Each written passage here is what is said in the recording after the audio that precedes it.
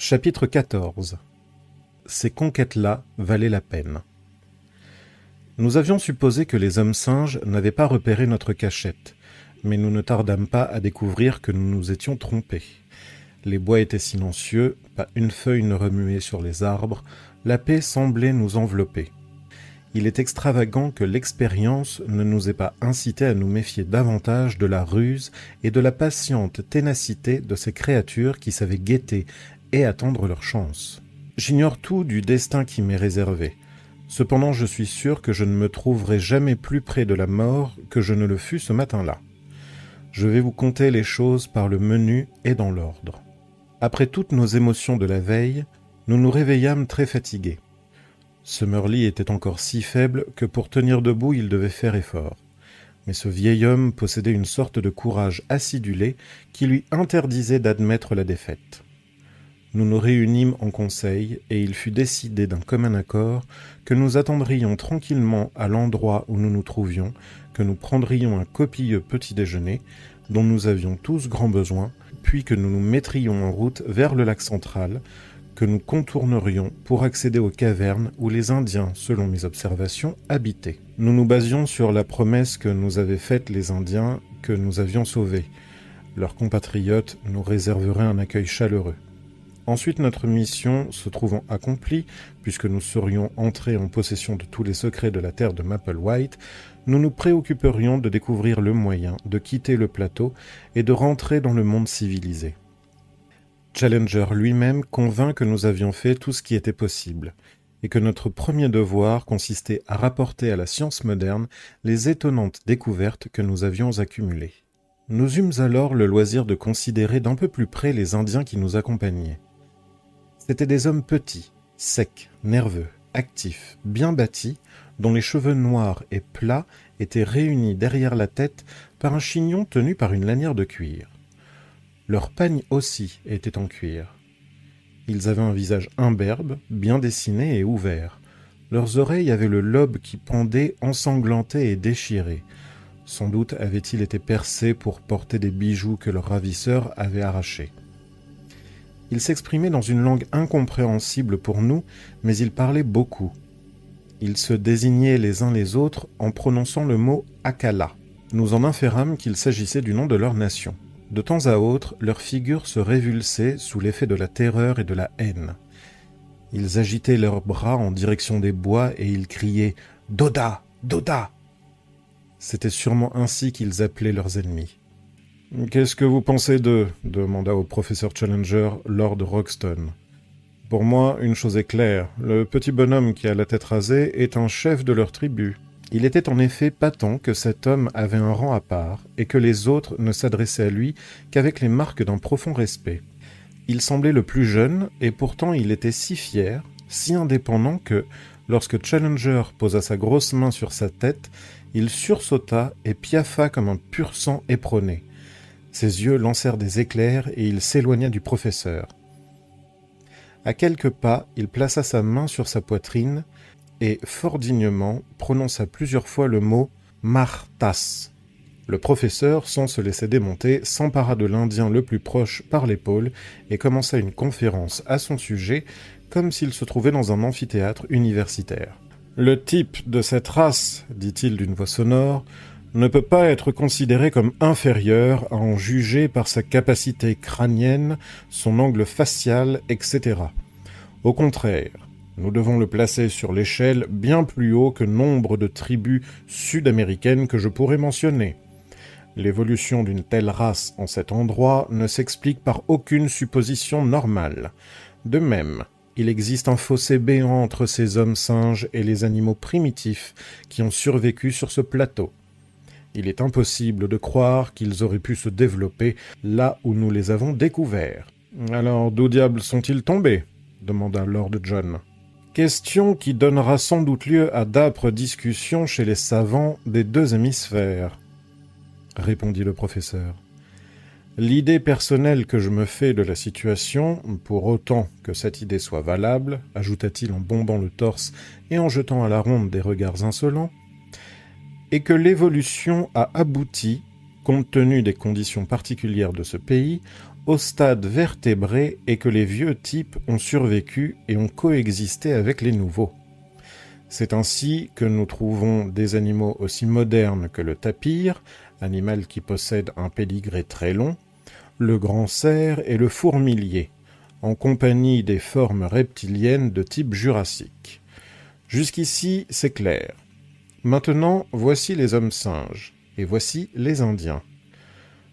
Que peut penser l'esprit scientifique de leur présence? Je ne peux pas envisager deux hypothèses. Une me suffit. Ils ont envahi le plateau.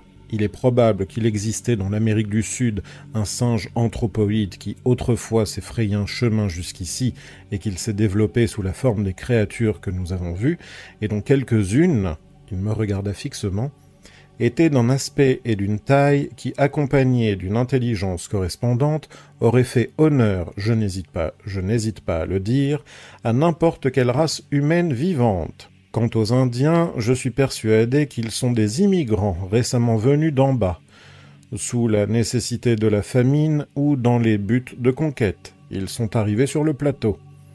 Devant les féroces créatures qu'ils n'avaient jamais vues auparavant, ils se sont réfugiés dans des cavernes telles que les a décrites notre jeune ami.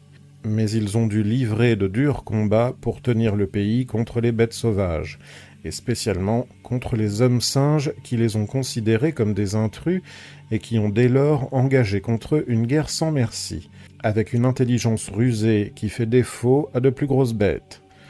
D'où le fait qu'ils ne sont pas très nombreux. Eh bien, messieurs, l'énigme est-elle résolue Ou y a-t-il encore quelques points à éclaircir pour votre gouverne?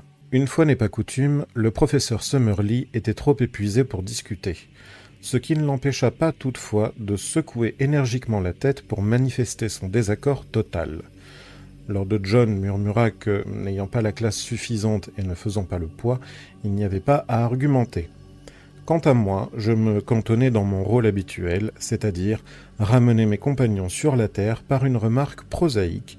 Je déclarai que l'un des Indiens était manquant. Il est allé chercher de l'eau, répondit Lord John.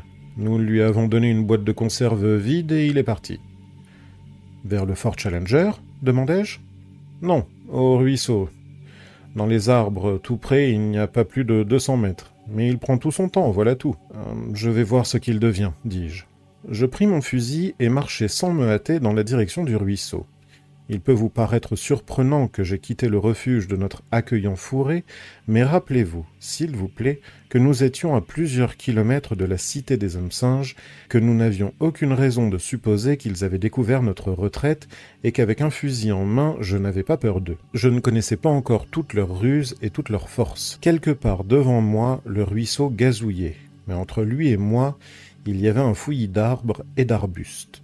Je m'y aventurai, et juste à un endroit que de leur cachette mes compagnons ne pouvaient pas apercevoir, je remarquai une sorte de paquet rouge parmi les buissons. Je m'approchai, c'était le corps de l'Indien manquant. Il était couché sur le flanc. Ses membres étaient tirés vers le haut et sa tête faisait avec le corps un angle tout à fait bizarre. Il donnait l'impression de regarder droit par-dessus son dos. Je poussai un cri pour alerter mes camarades et je me penchai au-dessus du cadavre. Sûrement mon ange gardien me protégeait. Est-ce une peur instinctive ou un bruissement léger dans les feuilles qui me fit lever les yeux en l'air? Toujours est-il que du grand feuillage épais qui pendait au-dessus de ma tête, je vis descendre deux longs bras musclés couverts de poils rouges. Une demi-seconde plus tard, et ces deux mains énormes m'auraient serré la gorge. Je fis un saut en arrière, mais malgré ma promptitude, ses mains furent encore plus promptes. Mon saut les empêcha de m'étreindre pour un coup mortel, mais l'une d'elles m'empoigna par la nuque et l'autre par le menton. Je levai les mains pour protéger ma gorge, une patte gigantesque s'en empara. Tiré légèrement au-dessus du sol, je sentis une pression intolérable qui ramenait ma tête en arrière, toujours plus en arrière, jusqu'à ce que l'effort sur la première vertèbre cervicale fut trop violent pour que je pusse le supporter. Tout tourna autour de moi, mais j'eus la force de tirer sur la main qui emprisonnait les miennes et de l'ôter de mon menton. Je regardai en l'air et je vis un visage horrible, avec des yeux bleus clairs, inexorables, qui plongeaient dans les miens. Il y avait dans ce regard terrible une force hypnotique qui m'interdisait de lutter plus longtemps. Quand l'animal sentit que je m'amollissais sous sa prise, deux canines blanches brillèrent sur chaque côté de sa bouche hideuse, et son étreinte se resserra sur mon menton, le forçant à remonter en arrière. Un brouillard mince, opalin, se forma devant mes yeux, et j'entendis des clochettes tinter dans mes oreilles. À demi évanoui, je discernais pourtant un coup de fusil. Alors j'eus à peine conscience que je retombais lourdement sur le sol. J'y demeurai immobile, sans connaissance. Je repris mes sens sur l'herbe, au milieu des fourrés qui nous servaient de refuge. J'étais couché sur le dos, quelqu'un avait été chercher de l'eau au ruisseau, et Lord John m'en aspergeait la tête, tandis que Challenger et Summerlee me soutenaient, leur visage était dévoré d'anxiété. Pendant un moment, ils consentirent à n'être que des hommes, à laisser tomber leur masque de savant. C'était le choc qui m'avait étourdi plutôt qu'une véritable blessure, car au bout d'une demi-heure, en dépit d'une migraine et d'un torticolis, j'étais de nouveau assis et disposé à faire n'importe quoi. Mais là, bébé, il s'en est fallu d'un cheveu, dit Lord John. Quand je vous ai entendu crier, j'ai couru, j'ai vu votre tête à demi tordue et vos chaussures qui gigotaient en l'air. Alors j'ai bien cru que vous étiez mort. J'ai manqué votre singe dans ma précipitation, mais il vous a laissé retomber et il a filé comme un zèbre. Ah, si j'avais cinquante hommes avec des fusils, je débarrasserais la clairière de cette bande infernale, et je laisserais le pays un peu plus en paix que nous l'avons trouvé. Quoi qu'il en fût, il était certain que les hommes singes nous avaient découverts, et qu'ils nous épiaient de tous côtés. Nous n'avions pas grand-chose à craindre d'eux pendant le jour, mais la nuit ils nous attaqueraient sûrement. Donc, plus tôt nous nous éloignerons, et mieux nous nous sentirions en sécurité. Sur trois côtés autour de nous, la forêt multipliait ses embuscades. Mais le quatrième côté, qui descendait en pente douce vers le lac central, n'était garni que de broussailles. Il n'y avait que peu d'arbres et séparés en tout cas par plusieurs clairières. C'était en fait la route que j'avais prise au cours de mon exploration militaire. Elle nous conduisait droit vers les cavernes des Indiens. Nous n'avions donc qu'à les suivre. À notre grand regret, nous tournâmes le dos au Fort Challenger. Nous en étions fâchés, non seulement à cause des provisions dont il était pourvu, mais parce que nous perdions ainsi le contact avec Zombo. Toutefois, nous étions munis de cartouches, nous avions nos fusils, et pendant un certain temps, nous pourrions vivre sur des conserves. D'ailleurs, nous espérions revenir bientôt et rétablir notre communication avec Zombo. Il nous avait loyalement promis de rester au pied du piton rocheux et nous savions qu'il tiendrait parole. Ce fut au début de l'après-midi que nous nous mîmes en marche. Le jeune chef avait pris la tête pour nous servir de guide, mais il s'était refusé avec indignation à apporter le moindre fardeau. Derrière lui venaient les deux autres Indiens chargés de nos richesses. Nous quatre, les Blancs, marchions en file, le fusil armé à la main et prêt à intervenir. Quand nous partîmes des bois, jusqu'ici silencieux, s'éleva un long hurlement derrière nous. Les hommes singes manifestaient ainsi leur triomphe, ou leur mépris, devant notre fuite. En regardant dans les arbres, nous n'aperçûmes que des branches et des feuilles, mais à n'en pas douter, derrière cet écran se dissimulait toute une armée hostile. Nous ne fûmes l'objet d'aucune poursuite, cependant, et nous nous trouvâmes bientôt à ciel découvert, hors de leur pouvoir. Tout en marchant en queue de notre cortège, je ne pouvais m'empêcher de sourire à la vue de mes trois compagnons. L'Angleterre ne possédait certainement pas de cheminots plus loqueteux. Il n'y avait pourtant qu'une semaine que nous étions arrivés sur le plateau, mais tous nos vêtements et notre linge de réserve étaient demeurés dans le camp d'en bas. Et cette semaine-là avait été exceptionnellement pénible. Fertile en aventure? Moi, par chance, j'avais échappé aux hommes singes, tandis que dans cette bagarre, mes camarades avaient perdu, entre autres choses, leurs chapeaux, qu'ils avaient remplacés par des mouchoirs noués autour de leur tête, et leurs visages mal rasés étaient méconnaissables. Summerlee et Challenger boitaient, je traînais les pieds car j'étais encore mal remis de ma chute du matin, et j'avais le cou raide comme une planche. Nous formions vraiment une triste équipe et je n'avais pas lieu d'être surpris des regards horrifiés ou étonnés qu'échangeaient parfois les Indiens en nous regardant. Tard dans l'après-midi, nous parvînmes au bord du lac. quand nous émergeâmes des buissons et que nous aperçûmes la nappe d'eau qui s'étendait devant nous, les Indiens poussèrent un cri de joie et tendirent les bras devant eux. Le paysage était vraiment magnifique. Balayant toute la surface argentée, une grande flotte de canoës se dirigeait droit vers le rivage où nous nous trouvions. Ils étaient encore à quelques kilomètres quand nous les distinguâmes, mais ils avançaient avec une rapidité extraordinaire, et bientôt les rameurs furent en mesure de nous repérer. Immédiatement, un formidable cri de joie s'éleva des embarcations. Les indigènes se mettaient debout, agitaient leurs pagaies et leurs lances. Ce fut un moment de vrai délire collectif. Puis ils se courbèrent de nouveau pour reprendre leurs tâches, et les canoës foncèrent sur l'eau pour s'échouer sur le sable en pente. Les Indiens sautèrent alors à terre et coururent se prosterner devant leur jeune chef. Ils s'époumonaient à manifester leur allégresse. Finalement, un homme âgé se précipita pour embrasser le plus tendrement du monde le jeune garçon que nous avions sauvé. Ce vieillard portait un collier et un bracelet confectionnés tous deux de gros grains de cristal lumineux. Sur ses épaules était nouée la peau mouchetée, couleur d'ambre, d'un très bel animal. Il nous regarda et posa quelques questions. Sur les réponses qui lui furent faites, il s'avança vers nous avec une dignité pleine de noblesse et nous embrassa les uns après les autres. Puis il donna un ordre, et toute la tribu se prosterna devant nous pour nous rendre hommage. Personnellement, je me sentais intimidé et mal à l'aise devant une telle adoration obséquieuse. Je lus des sentiments analogues sur les visages de Lord John et de Summerlee. Mais Challenger s'épanouit comme une rose au soleil. Ce sont peut-être des hommes non développés, nous dit-il en pointant la barbe en avant, mais leur comportement en face d'hommes supérieurs pourrait servir de leçon à quelques-uns de nos Européens si avancés. Les instincts de l'homme naturel sont décidément aussi corrects que bizarres. Il nous apparut que les indigènes étaient sur le sentier de la guerre, car chacun était armé d'une lance, un long bambou terminé par un os pointu, d'un arc et de flèches, plus d'une sorte de gourdin ou de hache de pierre qui pendait à son côté.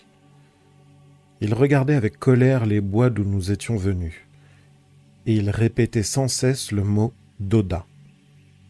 C'était là certainement une troupe de renforts destinée à sauver ou à venger le fils du vieux chef, car tout laissait supposer que le jeune homme était le fils du vieillard qui régnait sur la tribu. Celle-ci tint conseil aussitôt. Tout entière assise en cercle, nous regardions ces Indiens en essayant de suivre leur débat, deux ou trois guerriers parlèrent, puis notre jeune ami improvisa une harangue enflammée avec de telles intonations et de tels gestes que nous le comprîmes aussi facilement que s'il s'était exprimé dans notre langue. Pourquoi retourner là-bas dit-il? Parce que tôt ou tard, il faudra que la chose soit faite. Vos camarades ont été assassinés. Qu'importe que je sois revenu sain et sauf, les autres ont été tués. Il n'existe de sécurité pour aucun de nous. Nous sommes réunis ici et prêts il nous désigna éloquemment. Ces étrangers sont nos amis, ce sont de grands soldats, et ils haïssent les hommes singes autant que nous. Ils commandent au tonnerre et à la foudre. Quand aurons-nous donc une meilleure chance? Allons-y, et sachons mourir tout de suite ou vivre pour un avenir paisible. Autrement, comment reverrions-nous nos femmes sans rougir? Les petits guerriers étaient suspendus aux paroles de l'orateur. Quand il eut fini, ils éclatèrent en applaudissements et agitèrent leurs armes. Le vieux chef s'approcha et nous posa plusieurs questions en désignant lui aussi les bois. Lord John, qui avait fait signe qu'il devait attendre une réponse, et se tourna vers nous. Lord John lui fit signe qu'il devait attendre une réponse et se tourna vers nous. Bon, maintenant, à vous de dire ce que vous voulez faire, expliqua-t-il. Pour ma part, j'ai une deuxième mi-temps à jouer avec cette bande de singes, et si cette partie se termine par la disparition d'une race sur la Terre, je ne vois pas ce que la Terre aurait à y perdre. Je vais donc accompagner nos petits camarades au visage rouge et je veux les voir dans la bagarre. Qu'est-ce que vous en dites, bébé? Moi aussi, je viens naturellement. Et vous, Challenger? Bien entendu, je collabore. Et vous, Summerlee il me semble que nous dérivons grandement du but de cette expédition, Lord John. Je vous assure que lorsque j'ai quitté ma chaire de professeur à Londres, je ne pensais pas du tout que ce serait pour me mettre à la tête d'un raid de sauvages contre une colonie de singes anthropoïdes. Nous arrivons à la question de base, dit Lord John en souriant. Mais il nous faut l'affronter. Que décidez-vous? Je pense que c'est là une entreprise plus que discutable, répondit Summerlee, toujours prêt à, à argumenter. Mais si vous vous y enrôlez tous, je ne vois pas très bien comment je ne vous suivrai pas. C'est donc décidé, dit Lord John, qui se retourna vers le chef en faisant claquer son fusil. Le vieillard serra nos mains tandis que ses hommes applaudissaient de toute leur force. Il était trop tard pour marcher sur la cité des hommes singes, aussi les Indiens aménagèrent-ils un bivouac de fortune. De tous côtés, les feux s'allumèrent et fumèrent.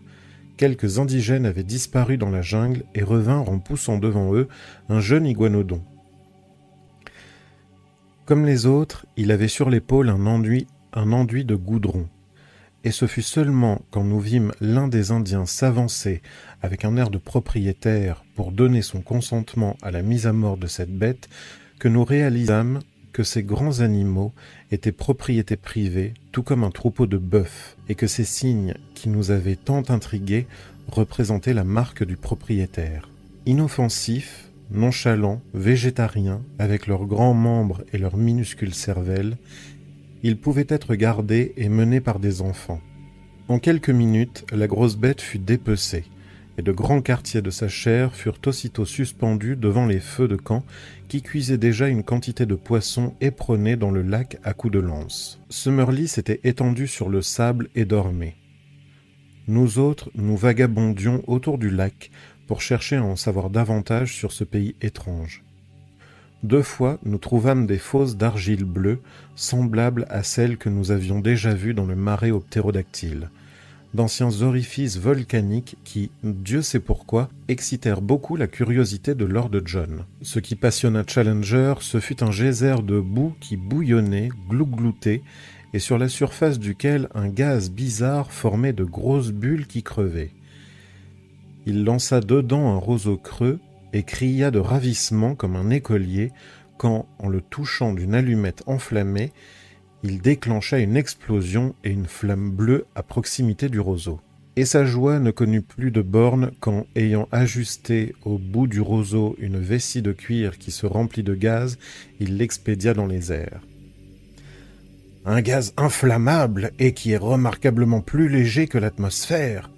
J'ose dire qu'il contient une proportion considérable d'hydrogène libre. Les ressources de GEC ne sont pas encore épuisées, mon jeune ami.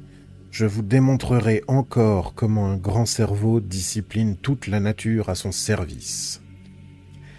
Il faisait allusion à une idée qui lui était venue, mais il ne voulut pas nous en dire davantage.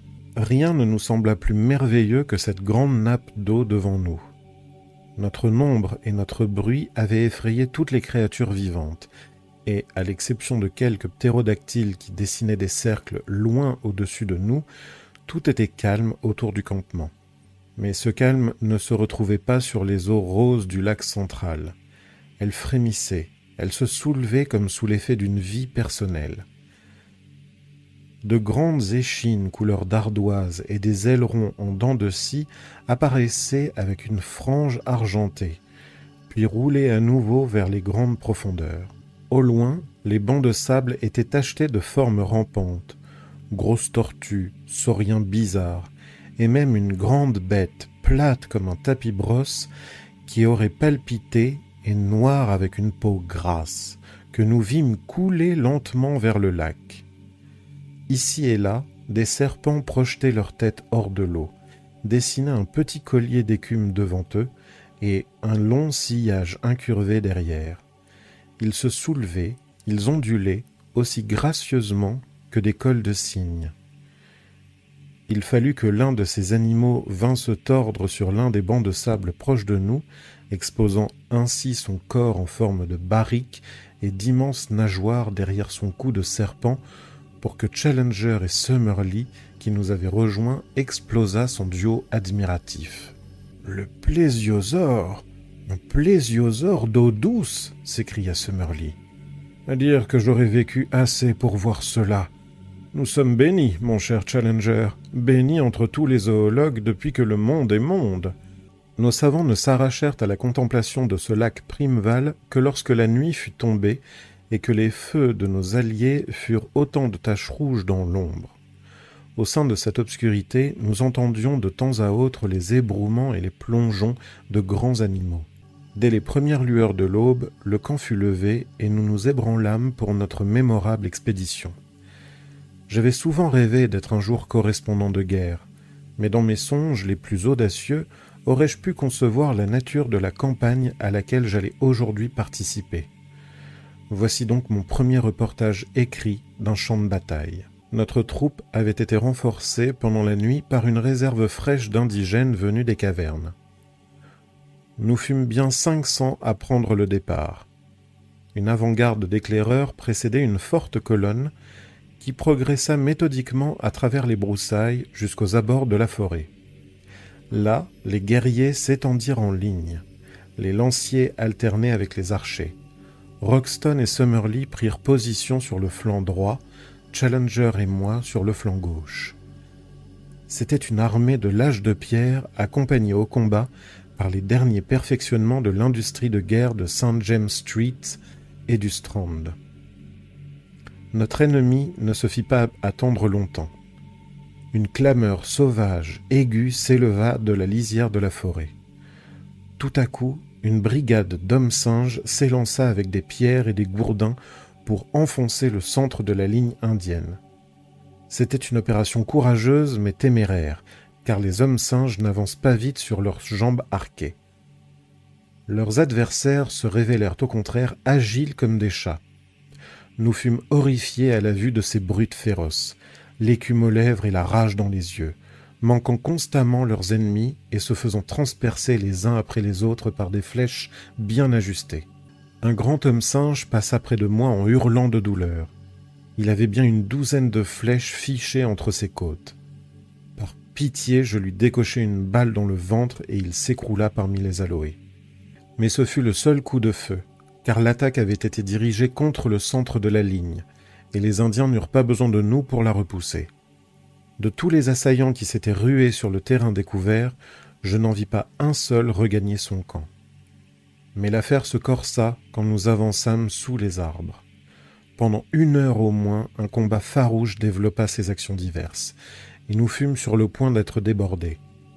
Les hommes singes Les hommes singes surgissaient des fourrés avec des gros gourdins qu'ils cassaient sur le dos des Indiens. Souvent, ils en mirent trois ou quatre hors de combat avant de pouvoir être transpercés à la lance. Ils assénaient des coups terribles. Le fusil de Summerlee vola en éclats et l'instant d'après, aurait été son crâne si un Indien n'avait poignardé la bête en plein cœur. D'autres hommes singes, juchés dans les arbres, nous lançaient des pierres et des grumes. Parfois ils tombaient parmi nos rangs et se battaient avec fureur jusqu'à la mort. À un moment donné, nos alliés reculèrent sous la pression formidable des hommes singes. Si nos fusils n'étaient pas entrés dans la danse, ils auraient été reconduits jusque chez eux. Heureusement, nous étions là. Il serait injuste de ne pas mentionner le courage du vieux chef qui rallia ses hommes et les fit repartir à l'assaut avec une telle impétuosité qu'à leur tour les hommes singes commencèrent à plier. Summerlee était sans armes, mais je vidai mes chargeurs aussi vite que je le pouvais et sur l'autre flanc nous entendions tirer nos camarades. Puis déferla la panique, et la défense des hommes singes s'effondra.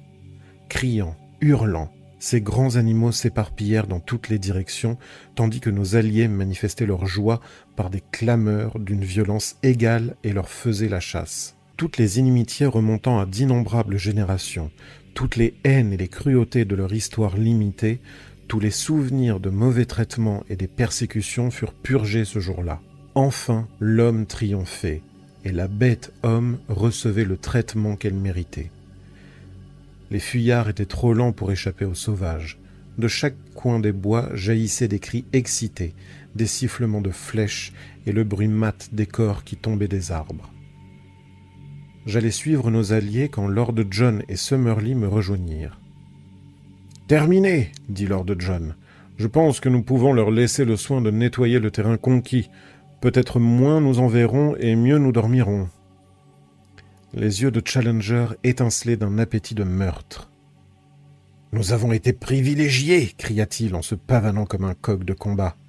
Songez qu'il nous a été donné d'assister à l'une des batailles décisives les plus typiques de l'histoire, de ces batailles qui déterminent le destin d'un monde. Qu'est-ce que c'est, mes amis, que la conquête d'une nation par une autre nation? Rien d'important, une conquête sans signification. Toutes ces conquêtes-là aboutissent au même résultat. Mais ces batailles féroces, par exemple celles où à l'aurore des âges les hommes des cavernes se sont maintenus sur la terre contre les grands fauves, ou encore celles au cours desquelles l'éléphant a trouvé son maître, voilà les vraies conquêtes, voilà les victoires qui comptent. Par un étrange détour du destin, nous avons assisté à l'une de ces luttes, et nous avons aidé à la décision. Désormais, sur ce plateau, l'avenir appartient à l'homme. Il fallait avoir une foi robuste dans la faim pour trouver justifier les moyens employés. Quand nous traversâmes les bois, nous découvrîmes des hommes singes mis en tas et transpercés de lances et de flèches. C'était pour marquer les lieux où les anthropoïdes avaient vendu leur vie le plus chèrement. Devant nous retentissaient toujours les cris et les hurlements qui montraient dans quelle direction s'était engagée la poursuite. Les hommes singes avaient été refoulés dans leur cité. Là, ils avaient tenté une suprême résistance qui avait été brisée. Nous assistâmes à la tragique apothéose de la victoire des Indiens. 80 ou 100 mâles, les derniers survivants, avaient été conduits à la petite clairière qui bordait l'escarpement, à l'endroit même où deux jours plus tôt nous avions réussi notre exploit. Quand nous arrivâmes, les lanciers indiens s'étaient formés en demi-cercle autour d'eux. En une minute, tout fut fini une quarantaine d'hommes singes moururent sur place. Les autres, râlant de terreur, furent précipités dans le vide et se brisèrent les os sur les bambous deux cents mètres plus bas. Supplice qu'ils avaient infligé à leurs propres prisonniers. Challenger l'avait dit, le règne de l'homme était assuré pour toujours sur la terre de Maple White. La cité des hommes singes fut détruite, les mâles furent exterminés jusqu'au dernier. Les femelles et les petits furent emmenés en esclavage. La longue rivalité qui durait depuis des siècles et dont l'histoire n'avait jamais été contée venait d'être couronnée de sa fin sanglante. À nous-mêmes, la victoire apporta beaucoup d'avantages. De nouveau, nous pûmes nous transporter au fort, Challenger et récupérer nos provisions. Et nous rentrâmes en communication avec Zombo encore terrifié par le spectacle d'une avalanche d'hommes singes tombant de l'escarpement. Partez, Massas, nous cria-t-il, les yeux hors de la tête. Partez, sinon le diable vous attrapera. C'est la voix de la sagesse, assura Summerlee. Nous avons eu suffisamment d'aventures qui ne conviennent ni à notre caractère, ni à notre situation. Je m'en tiens à votre parole, Challenger. À partir de maintenant, vous allez concentrer toute votre énergie à une seule tâche, nous permettre de sortir de ce pays horrible afin que nous puissions réintégrer la civilisation. Chapitre 15 Nos yeux ont vu de grandes merveilles. J'écris ceci au jour le jour, mais j'espère pouvoir vous annoncer avant la fin que la lumière luit dans nos ténèbres. Nous sommes retenus ici parce que nous n'avons pas encore trouvé le moyen de nous évader, et notre irritation va grandissant. Pourtant j'imagine aussi qu'un jour viendra où nous serons heureux d'avoir été retenus contre notre volonté, parce que nous aurons vu d'un peu plus près les merveilles de ce singulier pays, ainsi que les créatures qui l'habitent.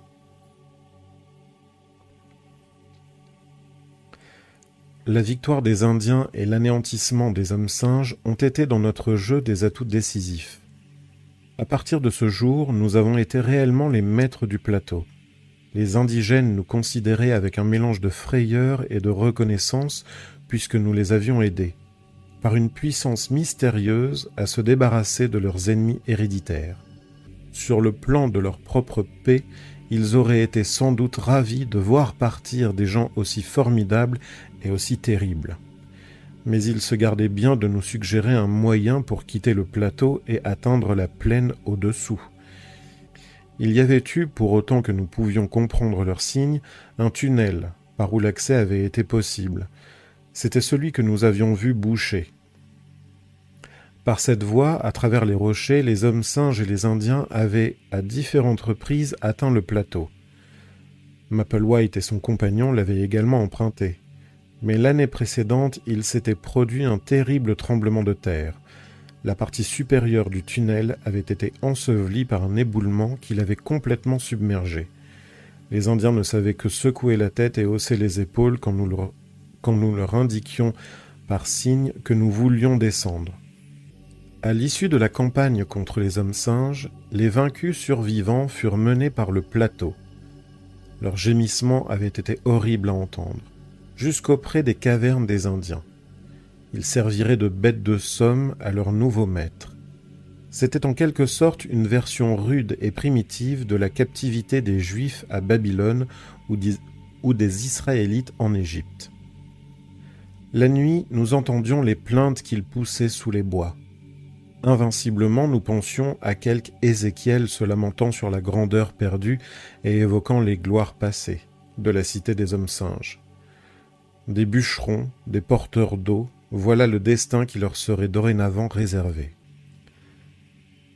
Deux jours après la bataille, nous avions retraversé le plateau avec nos alliés et établi notre camp au pied des escarpements qu'ils habitaient. Ils auraient volontiers partagé leur caverne avec nous, mais Lord John s'y refusa.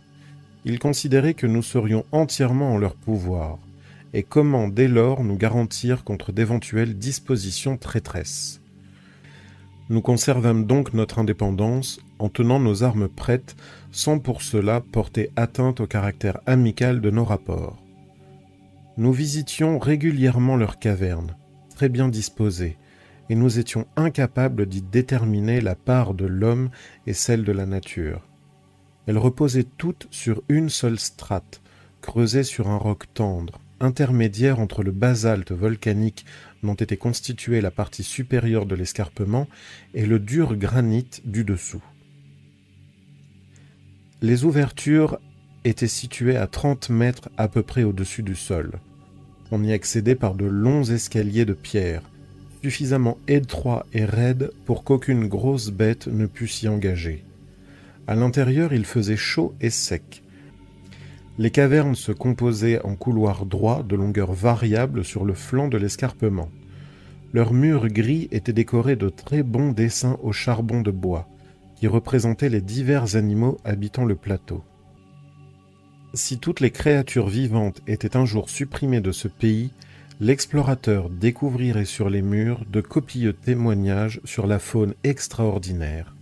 Dinosaures, iguanodons, lézards des mers, qui aurait vécu tout récemment encore sur la Terre.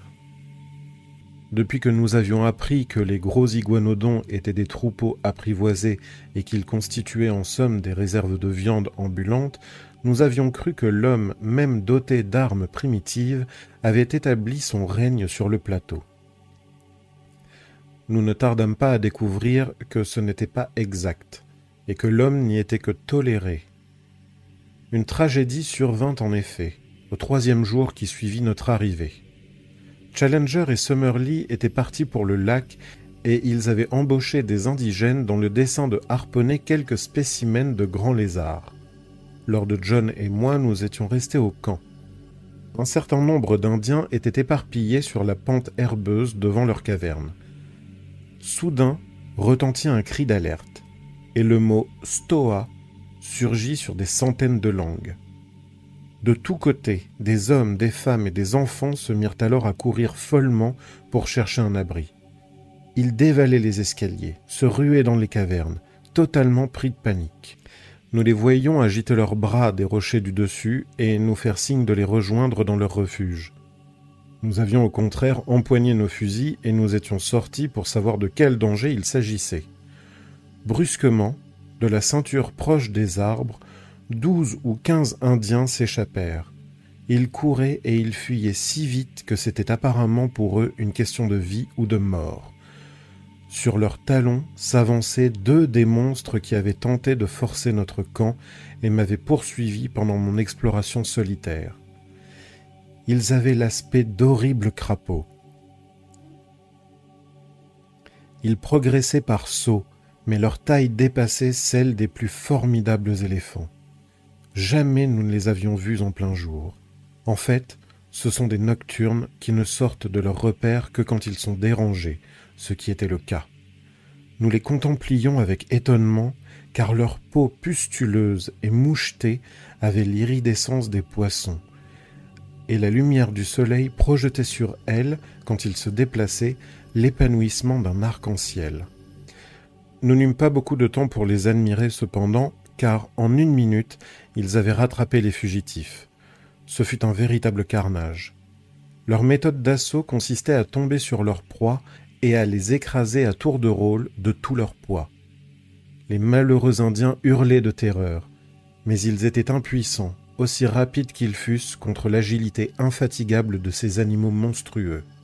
Avant que mon camarade et moi-même eussions eu le temps d'intervenir, il n'y avait plus qu'une demi-douzaine d'Indiens en vie, mais notre secours était mince. En fait, il nous apporta le même péril. À deux cents mètres, nous vidâmes nos chargeurs et nos balles pénétrèrent dans les animaux, mais sans plus d'effet que si nous les avions chatouillés avec des éventails. Leur nature reptilienne ne se souciait aucunement des blessures. Aucune arme moderne ne pouvait atteindre leurs nœuds vitaux, qui n'étaient rassemblés dans aucun centre. Le cordon médulaire, qui était en quelque sorte le réceptacle de leur source de vie, se répandait à travers tout l'organisme. Pour tout résultat, nous détournâmes leur attention par nos coups de fusil, ce qui permit aux indigènes et à nous-mêmes d'atteindre les marches qui mettaient en sécurité.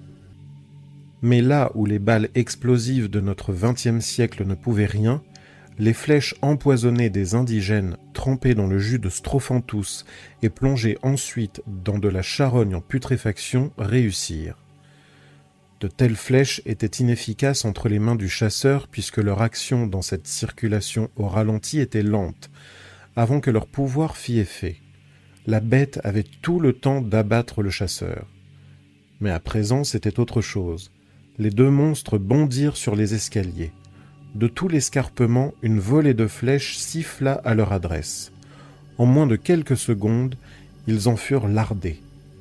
Ils s'acharnèrent néanmoins à griffer et à mordre les marches qui menaient à leur proie.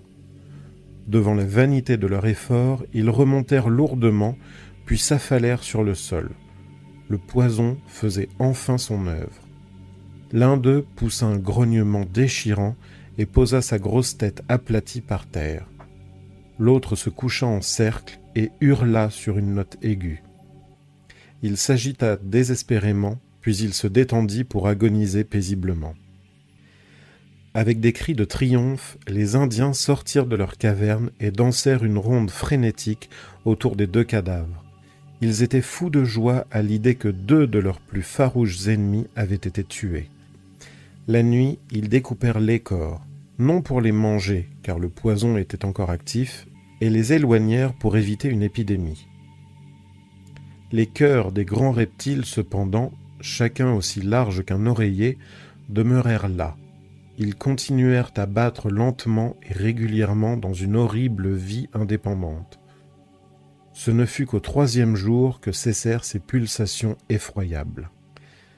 Un jour, quand je disposerai d'un meilleur pupitre qu'une boîte de conserve et d'instruments de travail plus parfaits qu'un crayon rabougri et un dernier carnet de notes, et un dernier carnet de notes tout déchiré, j'écrirai une relation plus complète des Indiens Akala sur notre passage parmi eux et les étranges conditions de vie réunies dans cette merveilleuse terre de Maple White. Son souvenir, j'en suis sûr, demeurera gravé dans ma mémoire aussi fidèlement que s'impriment dans la mémoire vierge des enfants leurs premières impressions sortant de l'ordinaire. Rien ne peut effacer ce qui a été profondément gravé. Le moment venu, je décrirai les splendeurs de certains clairs de lune, quand, par exemple, un jeune ichthyosaure, étrange créature, mi-veau marin, mi-poisson, avec des yeux membres de chaque côté du mufle et un troisième œil juché au sommet de sa tête, s'empêtra dans un filet indien et faillit faire basculer notre canoë avant que nous pussions le remorquer jusqu'au rivage. Quand, une autre nuit, un grand serpent d'eau jaillit des joncs et emporta dans ses anneaux le timonier du canoë de Challenger. Je parlerai également de cette grande chose blanche nocturne. Jusqu'ici nous ignorons si elle est une bête ou un reptile, qui vivait dans un affreux marécage à l'est du lac, et qui se promenait auréolé d'un éclat faiblement phosphorescent au sein de l'obscurité. Les Indiens en avaient si peur qu'ils n'approchaient jamais de ce marécage. Quant à nous, nous hasardâmes deux expéditions, et nous l'aperçûmes les deux fois. Mais nous nous enlisions et ne parvenions pas à avancer. Tout ce que je peux dire, c'est qu'elle nous parut plus grosse qu'une vache et qu'elle répandait une étrange odeur de musc. J'évoquerai encore le gros oiseau qui s'attaqua à Challenger, lequel dut chercher refuge dans une caverne. Un oiseau courant, beaucoup plus gros qu'une autruche, pourvu d'un cou de vautour et d'une tête si cruelle qu'on aurait dit la mort ambulante. Pendant que Challenger opérait sa retraite dans les rochers, un coup de bec arracha le talon de sa botte comme s'il avait été découpé par un couteau. En cette occasion au moins les armes modernes s'avérèrent efficaces, et la grande bête qui mesurait quatre mètres de la tête aux pattes, notre professeur essoufflé mais très excité, le baptisa Ororacus, fut abattue par le fusil de Lord Roxton. Elle tomba dans un déluge de plumes et de membres disloqués, avec deux yeux jaunes qui nous fixaient effrontément. J'espère vivre assez pour voir son crâne aplati dans une niche parmi les trophées de l'Albanie. Enfin, je ne manquerai pas de décrire le toxodon, ce cochon d'Inde géant de trois mètres, muni de dents saillantes en ciseaux que nous tuâmes alors qu'il buvait dans le lac aux premières lueurs de l'aube. À tout ceci j'accorderai l'ampleur méritée de même que je n'oublierai pas de peindre avec une touche de tendresse les merveilleuses soirées de l'été qui terminaient des journées souvent passionnantes. Sous le ciel d'un bleu profond, nous étions allongés près du bois, sur l'herbe haute, et nous contemplions le gibier d'eau qui s'ébattait non loin de nous, ainsi que les animaux anachroniques qui de leurs terriers rampaient pour nous regarder. Les branches des buissons se courbaient sous le poids des fruits savoureux. Sur les prés, d'étranges fleurs adorables tordaient leurs tiges, elles aussi pour mieux nous voir. Et que dire de ces nuits poétiques que nous passions sur les eaux frémissantes du grand lac, à attendre les sauts et les plongeons de quelques monstres fantastiques, ou à nous émerveiller d'un rayon vert surgi du plus profond de l'onde qui trahissait la présence d'un animal mystérieux aux confins de la nuit subaquatique. Ah, je suis sûr qu'un jour ou l'autre ma mémoire et ma plume retraceront ces scènes. Mais me demanderez-vous pourquoi ces expériences et pourquoi ce retard, alors que vous et vos camarades auriez dû consacrer vos nuits et vos jours à mettre au point les moyens de faire votre rentrée dans le monde extérieur? Je répondrai que tous nous avions œuvré dans ce but, mais sans succès. Nous avions rapidement découvert que les Indiens ne nous aideraient pas, de toutes les manières, ils étaient nos amis, je pourrais presque dire nos dévoués esclaves. Mais quand il leur était suggéré qu'ils pourraient nous aider à fabriquer et à transporter une planche qui traverserait le gouffre, ou lorsque nous désirions obtenir d'eux des lanières de cuir ou des lianes afin de tisser des cordes, nous nous heurtions à un refus aussi aimable qu'obstiné. Ils souriaient, ils clignaient de l'œil, ils secouaient la tête, et c'était tout. Le vieux chef nous opposait lui aussi une fin de non-recevoir. Il n'y eut que Marétas, le jeune homme que nous avions sauvé, pour nous exprimer par geste sa désolation de voir nos vœux repoussés. Depuis leur triomphe sur les hommes singes, ils nous considéraient comme des surhommes qui détenaient les secrets de la victoire dans d'étranges tubes, et ils s'imaginaient que, tant que nous resterions avec eux, la prospérité les comblerait. À chacun d'entre nous furent offertes une petite femme à peau rouge et une caverne, à la condition que nous habitions pour toujours ce plateau. Jusqu'ici, tout s'était passé gentiment, en dépit de la divergence de nos vœux, mais nous étions persuadés que tout projet de descente devait demeurer secret, car, au besoin, il nous empêcherait par la force de le réaliser. Malgré le danger que représentaient les dinosaures, danger qui n'est à redouter que la nuit, je retournai deux fois au fort Challenger pour voir Zambo qui continuait à monter la garde et à nous attendre au bas de l'escarpement. Mon regard cherchait au loin dans la plaine si une espérance ne, se concrétisait pas à l'horizon. Mais comme sœur Anne, je ne voyais rien venir. Ils vont être là bientôt, Massa Malone. Avant huit jours, l'Indien sera de retour et apportera la corde. Vous pourrez redescendre. Tels étaient les encouragements de l'excellent Zambo. En revenant de ma deuxième visite un soir, je fis une curieuse rencontre. J'avais atteint un endroit situé à 1500 mètres environ du marais optérodactyle quand j'aperçus un objet extraordinaire qui s'approchait de moi. Un homme marchait à l'intérieur d'un cadre fait de bambous courbés. Il était littéralement enfermé dans une cage en forme de cloche. Je fus stupéfait en reconnaissant Lord John Roxton. Quand il me vit, il se glissa hors de sa bizarre forteresse, et il arriva vers moi en riant et je devinai qu'il était vaguement confus. Tiens, bébé, qui aurait pensé vous rencontrer par ici? Qu'est-ce que diable vous êtes en train de faire? demandai-je. Je vais rendre visite à mes amis, les ptérodactyles. Mais pourquoi? Des gens intéressants, vous ne trouvez pas? Mais peu sociables. Plutôt désagréables avec des étrangers, si vous vous rappelez. Alors j'ai construit ce cadre qui les empêche de venir me voir de trop près. Mais qu'est-ce que vous cherchez dans le marais? Il me regarda avec un œil vif et je lus une certaine hésitation dans son regard. Vous croyez qu'il n'y a que les professeurs pour s'intéresser à certaines choses? dit-il enfin. J'étudie ces jolis petits chéris, que cela vous suffise. Il n'y a pas de mal, lui dis-je. Sa bonne humeur reparut et il éclata de rire. Il n'y a pas de mal, en effet, jeune bébé. Je vais essayer d'attraper un poulet du diable pour Challenger. C'est mon affaire. Non, je ne tiens pas à votre compagnie. Moi, je suis en sécurité dans cette cage. Et pas vous. Au revoir. Je serai de retour au camp à la chute du jour. Il se détourna et me quitta. Je le vis s'avancer dans les bois sous la protection de sa cage extraordinaire. Si à cette époque le comportement de Lord John était bizarre, celui de Challenger l'était encore davantage. Je peux dire qu'il fascinait extraordinairement les femmes indiennes.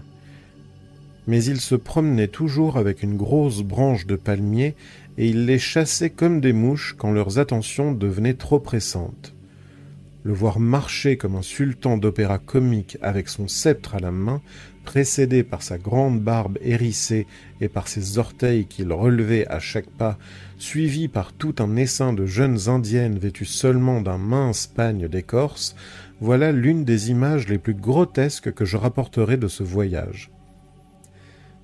Quant à Summerlee, il était absorbé par l'étude de la vie des insectes et des oiseaux sur le plateau, et il passait tout son temps, à l'exception de celui fort long qu'il consacrait à accabler Challenger de reproches parce qu'il ne nous avait pas encore fait descendre, à nettoyer et à ranger ses spécimens.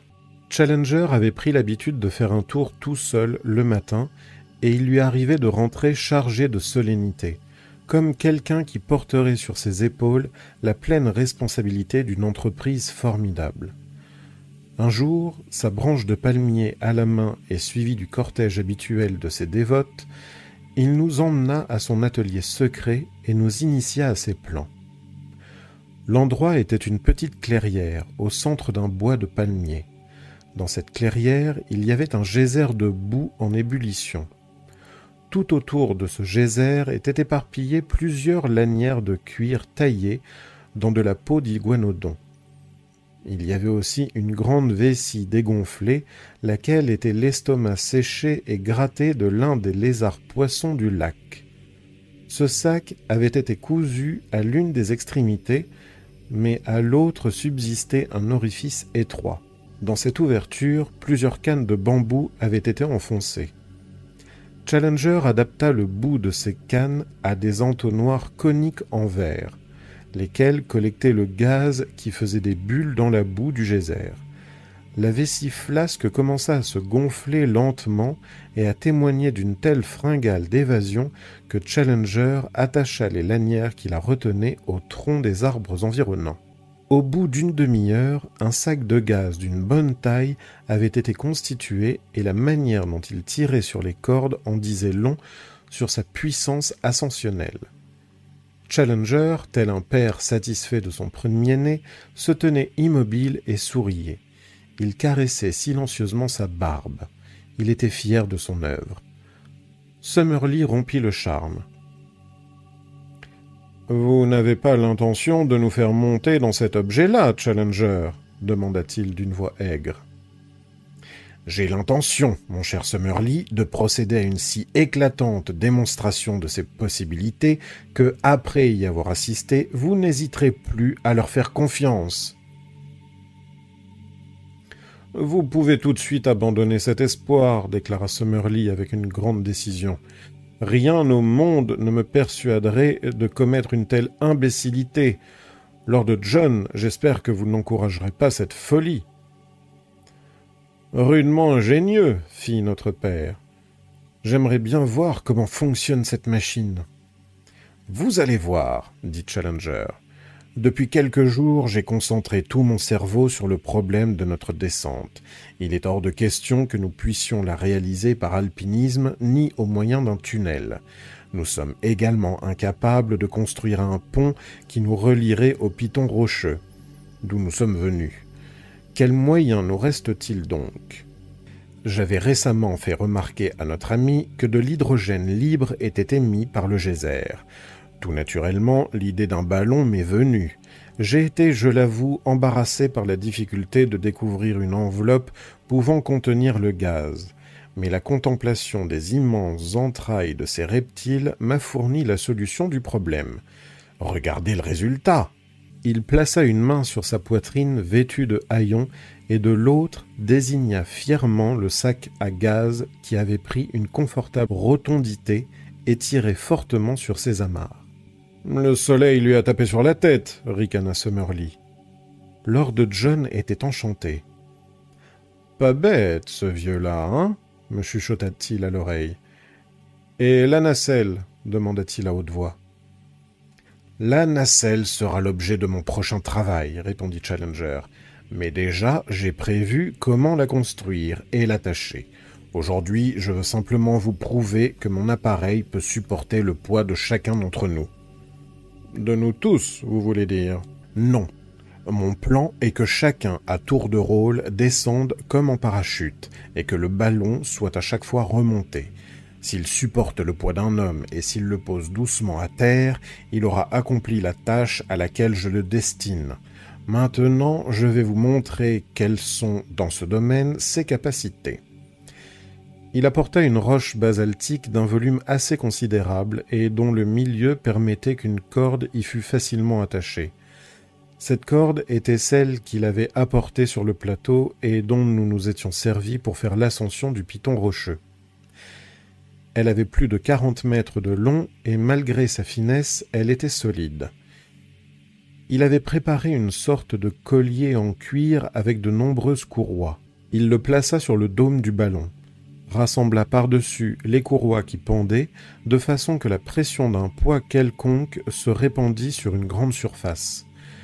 Puis il attacha la roche aux courroies, en laissant pendre la corde qu'il enroula autour de son bras. Et maintenant, lança Challenger avec un sourire d'anticipation satisfait, je vais vous démontrer la puissance porteuse de mon ballon. Il coupa les amarres. Jamais notre expédition ne fut plus proche de l'anéantissement.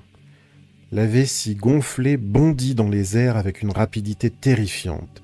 En un instant, Challenger fut arraché du sol et entraîné. J'eus juste le temps de le ceinturer, mais à mon tour, je fus tiré par une force ascensionnelle invincible. Lord John m'agrippa les jambes. Cela ne suffit pas. Lui aussi s'éleva dans les airs. Pendant un moment, j'eus la vision de quatre explorateurs flottant comme un chapelet de saucisses au-dessus de la terre qu'ils avaient conquise. Heureusement, il y avait des limites à l'effort que la corde pouvait supporter, mais il ne paraissait pas y en avoir à la puissance ascensionnelle de cette machine infernale. Un craquement aigu se fit entendre et nous retombâmes en tas sous un amas de cordages. Quand nous nous remîmes debout, nous aperçûmes très loin dans le ciel bleu une tache sombre. La roche basaltique continuait sa promenade aérienne. Merveilleux s'écria l'indomptable professeur Challenger en frottant son bras endolori. Voilà une démonstration éclatante, satisfaisante à tout point de vue. Je n'avais pas prévu une telle réussite. Dans moins d'une semaine, messieurs, je vous promets qu'un deuxième ballon sera prêt. Vous pouvez absolument compter sur la sécurité et le confort de ce moyen de transport pour accomplir la première étape de notre voyage de retour. Jusqu'ici, j'ai compté les événements dans leur ordre chronologique. Maintenant, je suis en train de l'achever à notre camp de base, là où Zambo nous attendait depuis si longtemps. Toutes nos difficultés, tous nos dangers sont à présent derrière nous. Je les revis comme un rêve qui se serait déroulé dans le décor de ces escarpements rougeâtres. Nous sommes descendus sains et saufs, quoique de la manière la plus imprévue, et tout va bien. Dans six semaines ou deux mois, nous serons de retour à Londres, et il est possible que cette lettre ne vous parvienne pas beaucoup plus tôt. Et il est possible que cette lettre ne vous parvienne pas beaucoup plus tôt que votre correspondant. Déjà nos cœurs soupirent et nos pensées s'envolent vers la grande ville, notre mère qui nous est si chère. Notre fortune changea le soir même du jour où Challenger faillit nous entraîner dans une périlleuse aventure avec son ballon artisanal. J'ai dit que la seule personne qui témoignait de la sympathie à nos efforts pour quitter le plateau était le jeune chef que nous avions sauvé. Lui au moins n'avait aucun désir de nous retenir contre notre gré. Il nous l'avait fait comprendre par des gestes tout à fait expressifs. Ce soir-là, donc, la nuit était presque tombée. Il se rendit à notre campement et me tendit. C'était toujours vers moi qu'il se tournait, sans doute parce que mon âge était davantage en rapport avec le sien. Un petit rouleau d'écorce me désigna solennellement la ligne de caverne au-dessus de nous, posa un doigt sur les lèvres pour nous recommander le secret, puis s'envola vers son peuple. J'approchai de la lumière du feu le rouleau d'écorce et nous l'examinâmes ensemble. À l'intérieur, il y avait un bizarre dessin que je reproduis ici. Les lignes étaient nettement dessinées au charbon de bois sur la surface claire. À première vue, je l'ai pris pour un arrangement musical étrange. En tout état, en tout état de cause, dis-je, je, je jurerais bien que ceci est important pour nous. Je l'ai lu sur son visage quand il me l'a remis. À moins que nous n'ayons affaire à un plaisantin primitif, suggéra Summerlee. Je pense que les jeux font partie du développement élémentaire de l'homme. C'est une sorte d'écriture, déclara Challenger. On dirait un puzzle, Lord John en se tordant le cou pour l'examiner. Tout à coup, il étendit le bras et me prit le puzzle. Voilà, cria-t-il, je crois que j'ai résolu le problème. Regardez. Combien y a-t-il de traits sur cette écorce? Dix-huit. Or, il y a dix-huit ouvertures de cavernes sur le flanc de l'escarpement au-dessus de nous. Il a fait un geste pour nous montrer les cavernes quand il m'a donné son rouleau, rappelai-je. Bien sûr, c'est une, une carte des cavernes, hein Il y en a dix-huit en ligne, quelques-unes peu profondes, d'autres profondes, certaines avec des embranchements. Nous les avons bien vues, hein Et la croix indique la plus profonde. Celle qui aboutit de l'autre côté, à l'extérieur, m'exclamai-je. Je crois que notre jeune ami a déchiffré l'énigme, réfléchit Challenger. Si la caverne ne traverse pas l'escarpement, je ne comprends pas pourquoi cette personne, qui ne nous veut que du bien, aurait attiré spécialement notre attention sur elle. Mais si réellement elle traverse et sort à une hauteur correspondante de l'autre côté, nous aurions encore près de quarante mètres à franchir en descente. Quarante mètres grogna Summerlee. Et alors m'écriai-je, notre corde n'a-t-elle pas plus de quarante mètres de long? Nous pouvons certainement descendre par là. Et les Indiens qui habitent dans la caverne? objecta Summerlee. Il n'y a pas d'Indiens dans les cavernes au-dessus de nous, répondis-je. Elles sont toutes utilisées comme entrepôts ou granges. D'ailleurs, pourquoi ne pas y aller pour voir tout de suite? Sur le plateau pousse un bois sec, bitumeux nos botanistes appelèrent Araucaria, et dont les Indiens font des torches. Nous en prîmes tout un fagot et nous nous dirigeâmes vers la caverne marquée d'une croix. Comme je l'avais annoncé, elle était inhabitée, sauf par une colonie d'énormes chauves-souris qui voltaient autour de nous tandis que nous nous y enfoncions. Ne tenant pas à éveiller l'attention des Indiens sur cette visite, nous titubâmes dans le noir jusqu'à ce que nous eussions contourné une quantité d'angles que nous estimâmes suffisante. Alors nous allumâmes nos torches. C'était un tunnel magnifiquement sec avec des parois grises, très lisses, recouvertes de symboles par les indigènes et un toit cintré qui formait une arche au-dessus de nos têtes. Nous marchions sur du sable blanc qui miroitait sous nos pieds. Nous nous hâtions fébrilement, mais à notre grande déception, nous dûmes nous arrêter. Un mur de roc s'élevait devant nous, et il ne présentait même pas une fissure par où une souris aurait pu passer. Rien à faire pour s'évader par là. Avec de l'amertume plein le cœur, nous observâmes cet obstacle inattendu. Il ne provenait pas d'un bouleversement quelconque. Il formait, et il avait toujours formé, un cul-de-sac. N'importe, mes amis, déclara Challenger qui ne se laissait pas abattre pour si peu. Vous avez ma promesse pour le ballon. Summerlee gémit. Peut-être sommes-nous dans une mauvaise caverne, hasardai-je. Ne nous sommes pas. Ne nous sommes-nous pas trompés? Hmm, Pas la peine, bébé, fit Lord John en posant son doigt sur la carte. La dix-septième sur la droite, la seconde sur la gauche, nous sommes dans la bonne caverne. Je regardai le dessin et je poussai soudain un cri de joie. Je crois que ça y est, suivez-moi, suivez-moi. Je revins sur nos pas, la torche à la main. Ici, dis-je en montrant quelques allumettes sur le sol. Voici l'endroit où nous avons allumé nos torches. Eh bien, cette caverne est dessinée comme une fourchette à deux branches. Dans le noir, nous avons dépassé l'embranchement. Sur notre droite, nous devrions trouver la branche la plus longue. J'avais raison. Nous n'avions pas fait plus de trente mètres. Nous n'avions pas fait plus de trente mètres en arrière qu'une grande ouverture noire se dessina sur la paroi. Nous nous précipitâmes dedans. Le couloir était beaucoup plus large. Nous courions presque. À bout de souffle, nous nous enfonçâmes de plusieurs centaines de mètres, fous d'impatience, d'espoir. Alors, tout d'un coup, dans l'obscurité profonde de l'arche, brilla une lumière rouge sombre. Nous stoppâmes pour nous concerter. On aurait dit qu'un drap enflammé bouchait le passage. Nous reprîmes notre course. Il fallait savoir. Aucun son, aucune chaleur, aucun mouvement n'était perceptible. Aucun son, aucune chaleur, aucun mouvement perceptible n'émanait de ce grand écran lumineux qui brillait devant nous, qui inondait la caverne d'une lumière argentée, qui transformait le sable en une poudre de joyaux. En approchant, nous aperçûmes une arête circulaire. La lune, ma parole hurla Lord John. Nous avons traversé, les enfants. Nous sommes de l'autre côté. Eh oui, c'était la lune, la pleine lune qui brillait directement sur l'orifice qui ouvrait sur l'autre face de l'escarpement. Oh, il n'était pas grand, à peine plus large qu'une fenêtre, mais suffisant tout de même pour que nous puissions accomplir notre rêve. En allongeant le cou, nous constatâmes que la descente n'offrait pas trop de grosses difficultés et que le sol n'était pas loin. Ne soyez pas étonnés si d'en bas nous ne l'avions pas vu à cet endroit. L'escarpement formait un surplomb et il paraissait tellement impossible de l'escalader que nous n'avions guère songé à inspecter à l'inspecter de près.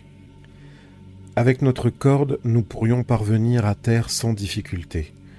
Aussi rentrâmes-nous au camp parfaitement contents pour faire immédiatement nos préparatifs en vue de notre départ le lendemain soir. Ce que nous avions à faire, nous le fîmes rapidement et en secret, car même à la dernière minute, les Indiens pouvaient nous retenir. Nous avions décidé d'abandonner nos provisions de bouche et de n'emporter que nos fusils et nos cartouches. Mais Challenger avait en outre quelque chose de lourd qu'il voulait ramener à Londres un paquet peu maniable dont je ne suis pas autorisé à parler. Ces exigences nous donnèrent beaucoup de mal. Le jour s'écoula avec une lenteur pesante. Quand l'obscurité se répandit sur le plateau, nous étions prêts à partir. Péniblement, nous transportâmes nos affaires au haut des marches, et nous jetâmes un dernier coup d'œil sur ce pays des merveilles. Je pensais qu'il allait être bientôt ouvert à, la curiosité universelle qu'il deviendrait la proie des chasseurs et des prospecteurs. Mais pour nous, il demeurerait toujours un paysage de rêve, féerique et d'un éclat incomparable. Une terre où nous avions osé beaucoup, souffert beaucoup, appris beaucoup. Notre terre, comme nous l'appelions amoureusement. Sur la gauche, les cavernes projetaient les feux rouges qui trouaient l'obscurité. Sur la pente qui descendait vers le lac, fusaient les voix des Indiens. Ils riaient, ils chantaient. Au-delà, la forêt s'étendait, immense. Au centre, miroitant au clair de lune, le lac étalait ses eaux paisibles qui, paradoxalement, avaient enfanté tant de monstres. Pendant que nous admirions une dernière fois cet univers à part du monde, l'appel aigu d'un animal mystérieux résonna dans la nuit. C'était la voix même de la terre de White qui nous disait adieu. Nous nous détournâmes et nous nous enfonçâmes dans la caverne qui nous ouvrait la porte du retour. Deux heures plus tard, nous, nos bagages et tous nos biens, nous étions arrivés au pied de l'escarpement. Nous n'eûmes à vaincre en fait de difficulté que l'encombrement du colis auquel tenait tant le professeur Challenger. Nous laissâmes le tout sur place et nous partîmes aussitôt pour le camp de Zambo. Nous y arrivâmes à l'aube mais à notre stupéfaction, nous y découvrîmes, au lieu d'un feu unique, une douzaine dispersés sur la plaine. Le groupe de secours nous avait rejoints. Il y avait une vingtaine d'Indiens de la rivière avec des pieux, des cordes, bref, tout ce qu'il aurait fallu pour franchir le gouffre. Au moins, nous n'aurons pas trop de difficultés pour le transport de nos paquets. Quand demain, nous nous mettrons en route vers l'Amazone. Là-dessus, avec humilité et gratitude, je clos le chapitre de nos aventures. Nos yeux ont vu de grandes merveilles, et nos âmes sont épurées par ce que nous avons enduré. Tous nous sommes devenus meilleurs et plus graves. Peut-être serons-nous obligés de nous arrêter à Para pour radouber notre bateau. Dans ce cas, cette lettre sera d'une poste en avance sur nous. Sinon, j'espère, cher monsieur Macardle, avoir très bientôt le plaisir de vous serrer la main. Chapitre 16 En cortège, en cortège Je désirerais rappeler ici notre gratitude à l'égard de tous nos amis de l'Amazone. Ils nous ont témoigné une extrême gentillesse, et leur hospitalité a été magnifique pendant notre voyage du retour. Tout spécialement, je voudrais remercier Signor Penalosa et les autres officiers du gouvernement brésilien les dispositions qu'ils prirent afin de nous aider. Et Signor Pereira de Para, à la prévoyance de qui nous devons une réapparition décente dans le monde civilisé. Ce sont de médiocres actions de grâce comparativement à la courtoisie que nous avons rencontrée. D'autant plus que nous décevrons nos hôtes et nos bienfaiteurs, mais, étant donné les circonstances, nous n'avons réellement pas le choix. Dès à présent, je leur déclare que s'ils essaient de suivre nos traces, ils perdront leur temps et leur argent. Dans mon récit, les noms ont été altérés, et je suis sûr que personne, même après l'avoir soigneusement étudié, ne pourrait parvenir à moins d'un millier de kilomètres de notre terre inconnue. La frénésie qui s'empara des régions de l'Amérique du Sud que nous dûmes traverser n'était pas spécifiquement locale, comme nous l'imaginions je puis assurer nos amis d'Angleterre que nous n'avions aucune idée de l'écho que la simple révélation de nos expériences avait suscité dans toute l'Europe. Ce ne fut que lorsque l'Hivernia se trouva à 800 km au large de Southampton que les messages sans fil des journaux et des agences nous offrant des sommes folles pour la moindre communication touchant les résultats que nous avions obtenus nous apprirent à quel point l'opinion mondiale s'était passionnée par notre tentative. D'un commun accord, cependant, nous décidâmes de ne faire aucune déclaration précise à la presse avant d'avoir soumis notre rapport aux membres de l'Institut de zoologie. Puisque nous étions des délégués, N'était-il pas de notre devoir de rendre compte d'abord à l'organisme de qui nous avions reçu un mandat d'enquêter? Donc, et bien qu'ayant trouvé Southampton blond bondé de journalistes, nous nous refusâmes systématiquement à leur donner des renseignements. Ce silence eut pour effet naturel de concentrer toute l'attention publique sur la réunion qui fut annoncée pour le 7 novembre au soir. En prévision de la foule annoncée, le Zoological Hall où s'était déroulée la scène de nos investitures fut trouvé trop petit et ce fut au Queen's Hall, dans Regent Street, que l'assemblée fut convoquée. Il est établi à présent que les organisateurs auraient pu louer l'Albert Hall, il se serait avéré lui aussi trop étroit. La réunion avait été prévue pour le lendemain soir de notre arrivée. La première soirée avait été consacrée naturellement à nos affaires privées. Des miennes, je ne puis encore parler. Peut-être que, quand elles auront pris du recul, j'aurai la force de les évoquer avec une émotion moins vive. J'ai au début indiqué au lecteur les mobiles de mon action. Il sera juste, par conséquent, que je poursuive mon récit jusqu'à son terme et que je ne dissimule pas les résultats. Le moins que je puisse dire est que j'ai été poussé à prendre part à une aventure merveilleuse et que je ne saurais être que reconnaissant envers la force qui m'a poussé. Pour l'instant, je reviens au dénouement de notre histoire. Et au lieu de me triturer la cervelle pour essayer de vous le dépeindre au mieux, je vais transcrire le complet et excellent compte-rendu qui a paru dans mon propre journal sous la signature de mon ami et confrère McDonough. Je confesse que ce papier peut choquer par son exubérance et que notre journal s'est félicité indiscrètement d'avoir envoyé un correspondant spécial mais les autres quotidiens ne furent guère moins enthousiastes. Voici donc le compte-rendu de mon ami Mac. Un monde neuf. Grand meeting au Queen's Hall. Scène de tumulte. Un incident extraordinaire. Émeute nocturne dans Regent Street. Reportage spécial. Hier soir, dans le grand Queen's Hall, s'est tenue la réunion si attendue de l'Institut de zoologie, convoqué aux fins d'entendre le rapport de la commission d'enquête nommée l'année dernière et partie pour l'Amérique du Sud afin d'y vérifier les allégations du professeur Challenger relatives à la permanence de la vie préhistorique sur ce continent et il est normal d'écrire que cette réunion fera date dans l'histoire de la science, car les débats furent si remarquables et même sensationnels qu'aucun assistant ne les oubliera jamais. Oh, McDonough, mon frère dans le journalisme, quel exorde monstrueux par sa longueur et son défaut de grâce. Les billets étaient en théorie réservés aux membres de l'Institut et à leurs invités. Mais invité est un terme élastique. Bien avant l'ouverture de la séance, fixée à 8 heures, tous les coins et recoins du grand hall étaient archi bourrés. Le public, cependant mécontent d'avoir été exclu, enfonça les portes à 8 heures moins le quart. À l'issue d'une mêlée prolongée au cours de laquelle plusieurs personnes furent blessées, dont l'inspecteur Scobble de la section H qui eut une jambe brisée, cette invasion ayant été couronnée de succès, il ne resta plus aucune place dans les passages et couloirs, et la tribune de la presse eut même à souffrir d'une intrusion enthousiaste.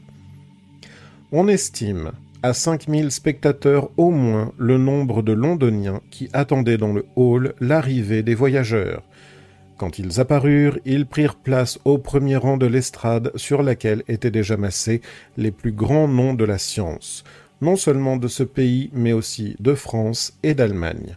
La Suède était également représentée en la personne du professeur Sergius, le célèbre zoologue de l'université d'Uppsala. L'entrée des quatre héros déclencha une remarquable manifestation de bienvenue. Toute l'assistance se leva et éclata en applaudissements pendant plusieurs minutes. Un observateur attentif aurait pu détecter toutefois quelques signes de désaccord et prévoir que les débats seraient plus animés qu'harmonieux. Pourtant, nul n'aurait pu prophétiser la tournure extraordinaire qu'ils allaient prendre. Il n'y a pas grand-chose à dire sur l'apparition des quatre voyageurs puisque leurs photographies ont été publiées par tous les journaux. Ils portent peu de marques des heures pénibles qu'ils affirment avoir traversées, il est possible que la barbe du professeur Challenger soit plus hirsute, les traits du professeur Summerlee plus ascétiques, le visage de Lord John Roxton plus décharné, tous trois sont plus allés que lorsqu'ils quittèrent notre pays, mais ils paraissent en excellente santé. Quant à notre représentant personnel, l'athlète célèbre, l'international de rugby E. D. Malone, il est tiré à quatre épingles et contemple la foule avec bonne humeur. Un sourire de contentement de soi se répand discrètement sur sa figure, franche mais banale. Très bien, Mac. Attendez que je vous attrape à seul. Quand le calme est rétabli et que l'assistance s'est assise après l'ovation qu'elle a adressée aux voyageurs, le président, le duc de Durham, prononça quelques mots. Il ne voudrait pas s'interposer plus d'une minute entre cette vaste assemblée et le plaisir qui l'attend, dit-il.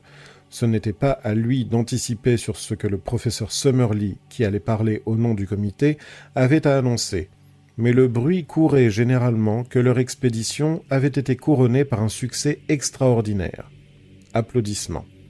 Apparemment, l'âge de l'aventure n'était pas mort et il existait un terrain commun sur lequel pouvaient se rencontrer les imaginations les plus débridées des romanciers et les investigations actuelles des chercheurs scientifiques.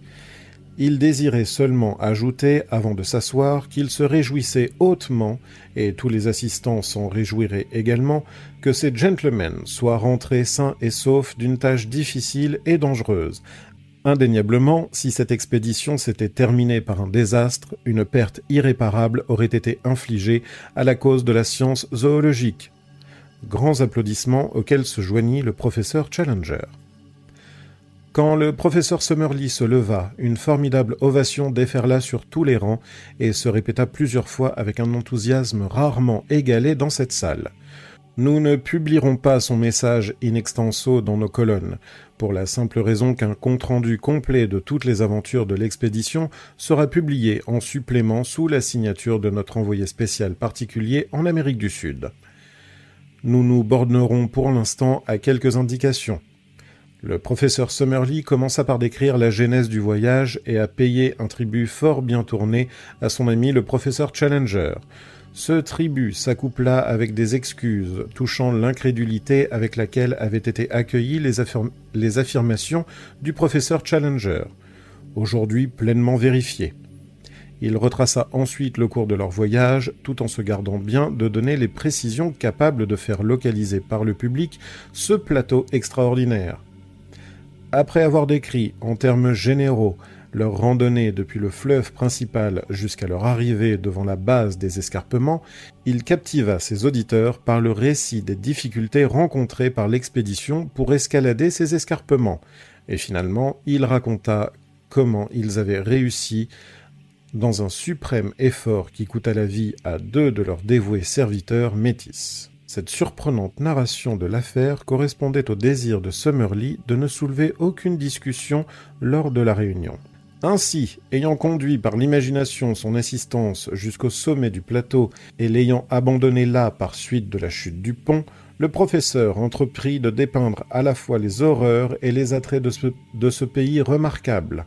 Il effleura à peine les aventures personnelles, mais il s'étendit longuement sur la riche moisson récoltée par la science après les observations faites sur la vie des bêtes sauvages, des oiseaux, des insectes et des plantes sur le plateau particulièrement riche en coléoptères et en lépidoptères. 46 nouvelles espèces des premiers et 94 des deuxièmes ont été découvertes en quelques semaines. Ce fut cependant sur les plus gros animaux et spécialement sur les gros animaux dont on supposait que la race était éteinte depuis longtemps que l'intérêt du public se concentra davantage. Il en fournit une longue liste et il ajouta qu'elle n'était qu'un début et qu'elle s'allongerait encore notablement quand le plateau aurait été exploré à fond. Lui et ses compagnons ont vu au moins une douzaine de créatures, le plus souvent de loin, qui ne correspondaient à rien d'actuellement connu par la science, et qui devraient être classées et répertoriées attentivement. Il cita en exemple un serpent dont la peau arrachée de couleur rouge foncé avait 18 mètres de longueur. Il mentionna aussi un animal blanc, probablement un mammifère, qui la nuit projetait une nette phosphorescence qui, la nuit, projetait une nette phosphorescence. Il parla encore d'un grand papillon noir dont la piqûre était, au dire des Indiens, très venimeuse. En dehors de ces formes de vie tout à fait nouvelles, le plateau abondait en aspects préhistoriques connus, dont la date remontait aux premiers âges jurassiques. Parmi eux, il cita le gigantesque et grotesque stégosaure que M. Malone vit boire dans le lac en une occasion et, qui avait été dessiné par l'aventureux américain qui avait le premier pénétré dans ce monde inconnu. Il décrivit également l'iguanodon et le ptérodactyle, les deux premières merveilles qu'ils aient rencontrées. Il fit frémir l'assemblée en évoquant le terrible dinosaure carnivore qui avait une fois poursuivi des membres de leur groupe et qui était de loin l'animal le plus formidable qu'ils aient vu. De là, il passa à cet oiseau immense et féroce, Phororacus, et au grand cerf qui vagabonde encore sur ce haut lieu. Mais ce fut quand il décrivit les mystères du lac central que l'enthousiasme de l'assistance fut à son comble. On avait envie de se pincer pour être sûr qu'on était éveillé quand le professeur, à l'esprit sain et pratique, parla en termes froids, mesurés, des lézards poissons monstrueux à trois yeux et des serpents aquatiques géants qui habitent cette nappe d'eau enchantée. Puis il traça un portrait des Indiens et des hommes singes, ceux-ci pouvant être considérés comme en avance sur le Phytanchotropus de Java. Et, étant donné qu'ils sont la forme la plus connue, puis il traça un portrait des Indiens et des hommes singes, ceux-ci pouvant être considérés comme en avance sur le Phytecanthropus de Java, et, étant donné qu'ils sont la forme connue la plus proche de cette créature hypothétique, comme l'anneau manquant.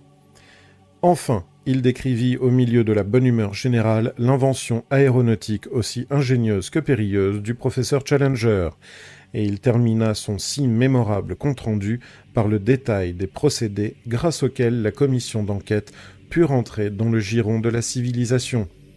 On avait espéré que la séance prendrait fin là-dessus et qu'une motion de remerciement et de félicitations mise aux voix par le professeur Sergius de l'université d'Uppsala on avait espéré que la séance prendrait fin là-dessus, et qu'une motion de remerciement et de félicitations mise aux voix par le professeur Sergius de l'université d'Uppsala serait votée d'enthousiasme. Mais il devint vite évident que le cours des événements ne serait pas aussi simple. Au cours de la séance, des symptômes très nets d'opposition étaient manifestés de temps à autre, et le docteur James Illingworth d'Édimbourg se laissa, se leva au centre de la salle. Le docteur Illingworth demanda si un amendement ne pouvait pas être déposé avant le vote de la résolution. Le président. Si, monsieur, pour le cas où il y en aurait un de présenté. Le docteur Illingworth. Votre grâce, je dépose un amendement. Le président. Alors étudions-le tout de suite.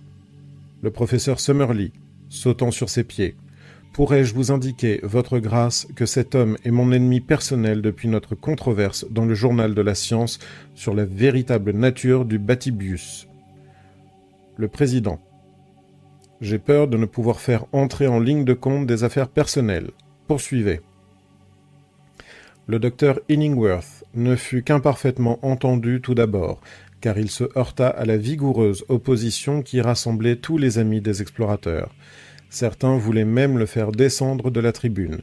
Mais étant extrêmement robuste et doué d'une voix tonnante, il domina le tumulte et alla jusqu'à la fin de son discours.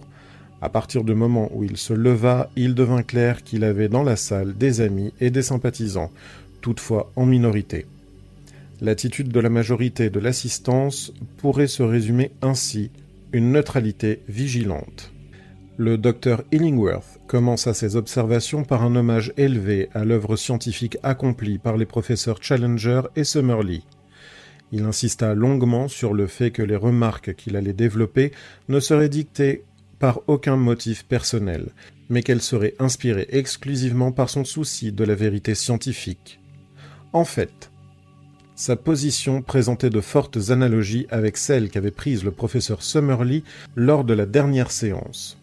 Au cours de cette dernière séance, le professeur Challenger avait fait certaines déclarations qui avaient été mises en doute par son collègue. Maintenant, ce même collègue se faisait le porte-parole de ces mêmes déclarations, et il s'attendait à ce qu'elles ne fussent pas mises en doute. Était-ce raisonnable? Oui, non, et toute une série d'interruptions prolongées au cours desquelles les journalistes entendirent le professeur Challenger demander au président de l'autoriser à jeter dans la rue le docteur Illingworth. Il y a un an, un homme a dit certaines choses. Aujourd'hui, quatre hommes en disent d'autres. Et de plus, surprenantes encore. Est-ce que cette surenchère pouvait constituer une preuve finale alors que le sujet exposé représentait un caractère révolutionnaire et incroyable? Récemment, les exemples n'avaient pas manqué de voyageurs débarquant de pays inconnus et racontant des histoires qui avaient été trop facilement écoutées. L'Institut de zoologie de Londres allait-il se placer dans cette situation? Il admettait que les membres du comité étaient des hommes de caractère, mais que la nature humaine était donc complexe. Les professeurs eux-mêmes pouvaient être égarés par le désir de devenir célèbres. Semblables à des papillons, nous préférons voler près de la lumière. Le chasseur de gros gibier aime se trouver en mesure d'éclipser les récits de ses rivaux, et le journaliste ne déteste pas le sensationnel, même au prix d'un effort d'imagination. Tous les membres de la commission d'enquête avaient en somme un motif personnel pour se vanter d'un maximum de résultats. C'est une honte, une honte. Il ne songeait nullement à être offensant. Vous êtes un insulteur. Nombreuses interruptions. Mais comment prouver la véracité de ces contes merveilleux? Avec quoi les corroborer? Les preuves étaient minces, tout juste quelques photographies. Serait-il possible, à l'âge des manipulations les plus ingénieuses, que des photographies fussent acceptées comme des preuves? Quoi d'autre? Nous avons une histoire d'un vol en ballon et d'une descente par corde qui interdit la production au public de preuves plus importantes. Idée ingénieuse mais non convaincante. Lord Roxton a annoncé, paraît-il, qu'il avait le crâne d'un Phororachus. Le docteur Illingworth voudrait bien voir ce crâne. Lord John Roxton. Est-ce que ce type, par hasard, me traiterait de menteur? Grand vacarme. Le président. À l'ordre, à l'ordre. Docteur Illingworth, je me vois dans l'obligation de vous prier de conclure et de déposer votre amendement. Le docteur Illingworth. Votre grâce, j'aurai encore beaucoup à dire, mais je me plie à votre décision. Je, je demande donc, premièrement, que le professeur Summerlee soit remercié pour sa si intéressante communication. Deuxièmement, que toute cette affaire soit considérée comme non prouvée. Troisièmement, qu'elle soit renvoyée à une commission d'enquête plus nombreuse et, si possible, plus digne de confiance. Il est difficile de décrire la confusion qu'engendra le dépôt de cet amendement une grande partie de l'assistance manifesta son indignation devant un tel affront infligé aux voyageurs. Des cris de protestation jaillirent bruyamment, orchestrés, et on entendit de nombreux Non, ne le mettez pas aux voix, retirez-le, à la porte. D'autre part, les mécontents, dont on ne peut nier qu'ils étaient plusieurs, applaudirent à l'amendement en criant À l'ordre et Jouez le jeu. Une bagarre éclata dans les derniers rangs et des coups furent échangés entre les étudiants en médecine qui occupaient le fond de la salle. Une bataille rangée ne fut évitée que grâce à l'influence modératrice due à la présence de nombreuses dames. Soudain, pourtant, le silence se rétablit miraculeusement. Il y eut des chutes, impératifs. C'est que le professeur Challenger se levait à son tour. Son aspect et ses manières avaient de quoi freiner les plus enragés. De sa main levée, il réclama que cesse le désordre. Immédiatement, toute l'assistance se rassit pour l'écouter. Beaucoup de spectateurs se rappelleront, déclara le professeur Challenger, que des scènes aussi indécentes et aussi imbéciles se sont produites au cours de la dernière séance où j'ai pris la parole. Ce jour-là, le professeur Summerlee fut mon insulteur numéro un, et il a beau s'être radouci et avoir battu sa coulpe, je ne l'ai pas tout à fait oublié. Ce soir, j'ai entendu des choses aussi pénibles, mais encore plus offensantes, de la part de la personne qui vient de se rasseoir. Bien qu'un effort volontaire d'effacement de soi soit nécessaire pour descendre jusqu'au niveau mental de cette personne, je consens à le tenter, ne serait-ce que pour dissiper les doutes raisonnables qui pourraient se faire jour dans quelques esprits. Rire et interruption. Je n'ai pas besoin de rappeler à cette assistance que, bien que le professeur Summerlee, en qualité de président de la commission d'enquête, eût été désigné pour parler ce soir, c'est tout de même moi qui suis le véritable animateur de cette affaire, et que c'est toujours à mon crédit que tout résultat positif doit être inscrit. J'ai conduit à bon port ces trois gentlemen, et je les ai convaincus, ainsi que vous avez pu en juger, de la véracité de mon premier rapport. Nous avions espéré découvrir à notre retour que personne ne serait assez obtus pour discuter nos conclusions communes. Averti toutefois par une expérience précédente, je ne suis pas revenu sans les preuves capables de convaincre n'importe quel individu doté de raison. Comme l'a expliqué le professeur Summerlee, nos caméras ont été brisées par les hommes singes qui ont mis à sac notre campement, et la plupart de nos négatifs ont été détruits. Huer, rire et parlez-nous d'autre chose au fond, au fond de la salle. J'ai évoqué des hommes singes, mais je ne puis m'empêcher de dire que quelques-uns des bruits qui chatouillent mes oreilles me remettent vigoureusement en mémoire certaines expériences que j'ai vécues avec ces intéressantes créatures. Rire. En dépit de la destruction de négatifs inestimables, il reste dans notre collection un certain nombre de photographies corroboratives qui montrent quelques-unes des conditions de la vie sur le plateau. Nous accuse-t-on d'avoir truqué ces photographies? Une voix crie oui. Il s'ensuit une interruption prolongée. Plusieurs spectateurs sont expulsés de la salle. Les négatifs sont à la disposition des experts, mais quelles autres preuves avons-nous? Étant donné les conditions de notre départ du plateau, nous n'avons naturellement pas pu emporter beaucoup de bagages, mais nous avons sauvé les collections de papillons et de coléoptères du professeur Summerlee qui contiennent beaucoup d'espèces nouvelles. Est-ce que ce n'est pas une preuve cela? Plusieurs voix. Non. Qui a dit non? Le docteur Illingworth, debout. Notre opinion est qu'une semblable collection a pu être réunie dans un tout autre endroit que sur un plateau préhistorique. Applaudissements. Le professeur Challenger. Sans doute, monsieur, devons-nous nous incliner devant votre autorité scientifique, quoique je doive avouer que votre nom ne m'est guère familier. Passant donc sur les photographies et sur la collection entomologique, j'en viens à l'information variée et précise que nous rapportons sur des sujets qui jusqu'ici n'avaient jamais été élucidés. Par exemple, sur les habitudes domestiques du ptérodactyle. Une voix. C'est une blague. Grand chahut. Le professeur Challenger. Je répète, sur les habitudes domestiques du ptérodactyle. Le professeur Challenger. Je répète, sur les habitudes domestiques du ptérodactyle, nous sommes en mesure de projeter une vive lumière. Je puis vous montrer une image de cet animal prise sur le vif qui est de nature à vous convaincre. Le docteur Illingworth. Aucune, aucune image ne nous convaincra de rien. le professeur Challenger. Vous désireriez voir l'original lui-même?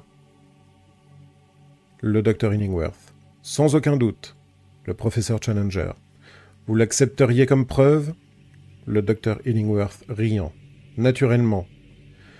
Ce fut à ce moment-là que la Ce fut à ce moment-là que la sensation de la soirée se produisit, une sensation d'un caractère si dramatique qu'elle n'a pas de précédent dans l'histoire des assemblées scientifiques le professeur Challenger dressa une main comme pour donner un signal. Aussitôt, notre confrère M.E.D. Malone se leva et se dirigea vers le fond de l'estrade. Un instant plus tard, il reparut en compagnie d'un noir gigantesque. Tous deux portaient une grande caisse carrée. Elle pesait évidemment très lourd. Elle fut lentement portée devant le professeur Challenger. Le silence tomba d'un coup sur l'assistance. Le professeur Challenger écarta le côté supérieur de la caisse. C'était un couvercle à glissière. Regarda à l'intérieur, claqua des doigts plusieurs fois de la tribune. De la presse, nous l'entendîmes appeler d'une voix câline Allons, viens, viens, petit. Presque sur le champ, avec un bruit de crécelle, un animal parfaitement horrible et répugnant apparut et se posa sur le bord de la caisse. Même la chute imprévue du duc de Durham dans la fosse d'orchestre ne détourna pas l'attention du public pétrifié. La gueule de cette créature ressemblait à la plus affreuse gargouille qu'une imagination médiévale eût pu concevoir dans une heure de folie. Elle était méchante, horrible, avec deux petits yeux rouges qui luisaient, comme du charbon en combustion. Ses épaules étaient voûtées. Autour d'elle était drapé quelque chose qui rappelait un châle gris défraîchi. C'était en personne le diable de notre enfance. Et soudain, toute l'assistance fut envahie d'un grand trouble. Des gens hurlèrent. Deux dames du premier rang tombèrent évanouies de leur fauteuil. Et sur l'estrade, un mouvement général se dessina pour suivre le président dans la fosse d'orchestre. Pendant quelques instants, on put craindre une panique folle. Le professeur Challenger leva les mains pour, apaiser la tension, mais son geste alarma l'animal qui se tenait à côté de lui. Son châle étrange se développa, se déplia, s'étendit et battit comme une paire d'ailes en cuir. Son propriétaire voulut le plaquer aux pattes, mais trop tard. La bête s'était envolée de son perchoir et décrivait de l'encercle au-dessus de la salle en battant des ailes. Trois mètres cinquante d'envergure, tandis qu'une odeur putride s'insinuait partout. Les cris des spectateurs des galeries que la proximité de ses yeux brûlants et du bec meurtrier affolé excitèrent la bête et la rendirent furieuse. Elle volait de plus en plus vite et se cognait contre les murs et les candélabres. La fenêtre hurla, le hurla de l'estrade le professeur qui dansait d'un pied sur l'autre et se tordait les mains plein d'appréhension. Pour l'amour du ciel, fermez la fenêtre. Hélas, son avertissement vint trop tard. En une seconde, l'énorme bête qui rebondissait contre les murs comme un papillon dans un manchon à gaz se trouva face à l'ouverture, recroquevilla à travers la fenêtre son épaisse masse et disparut.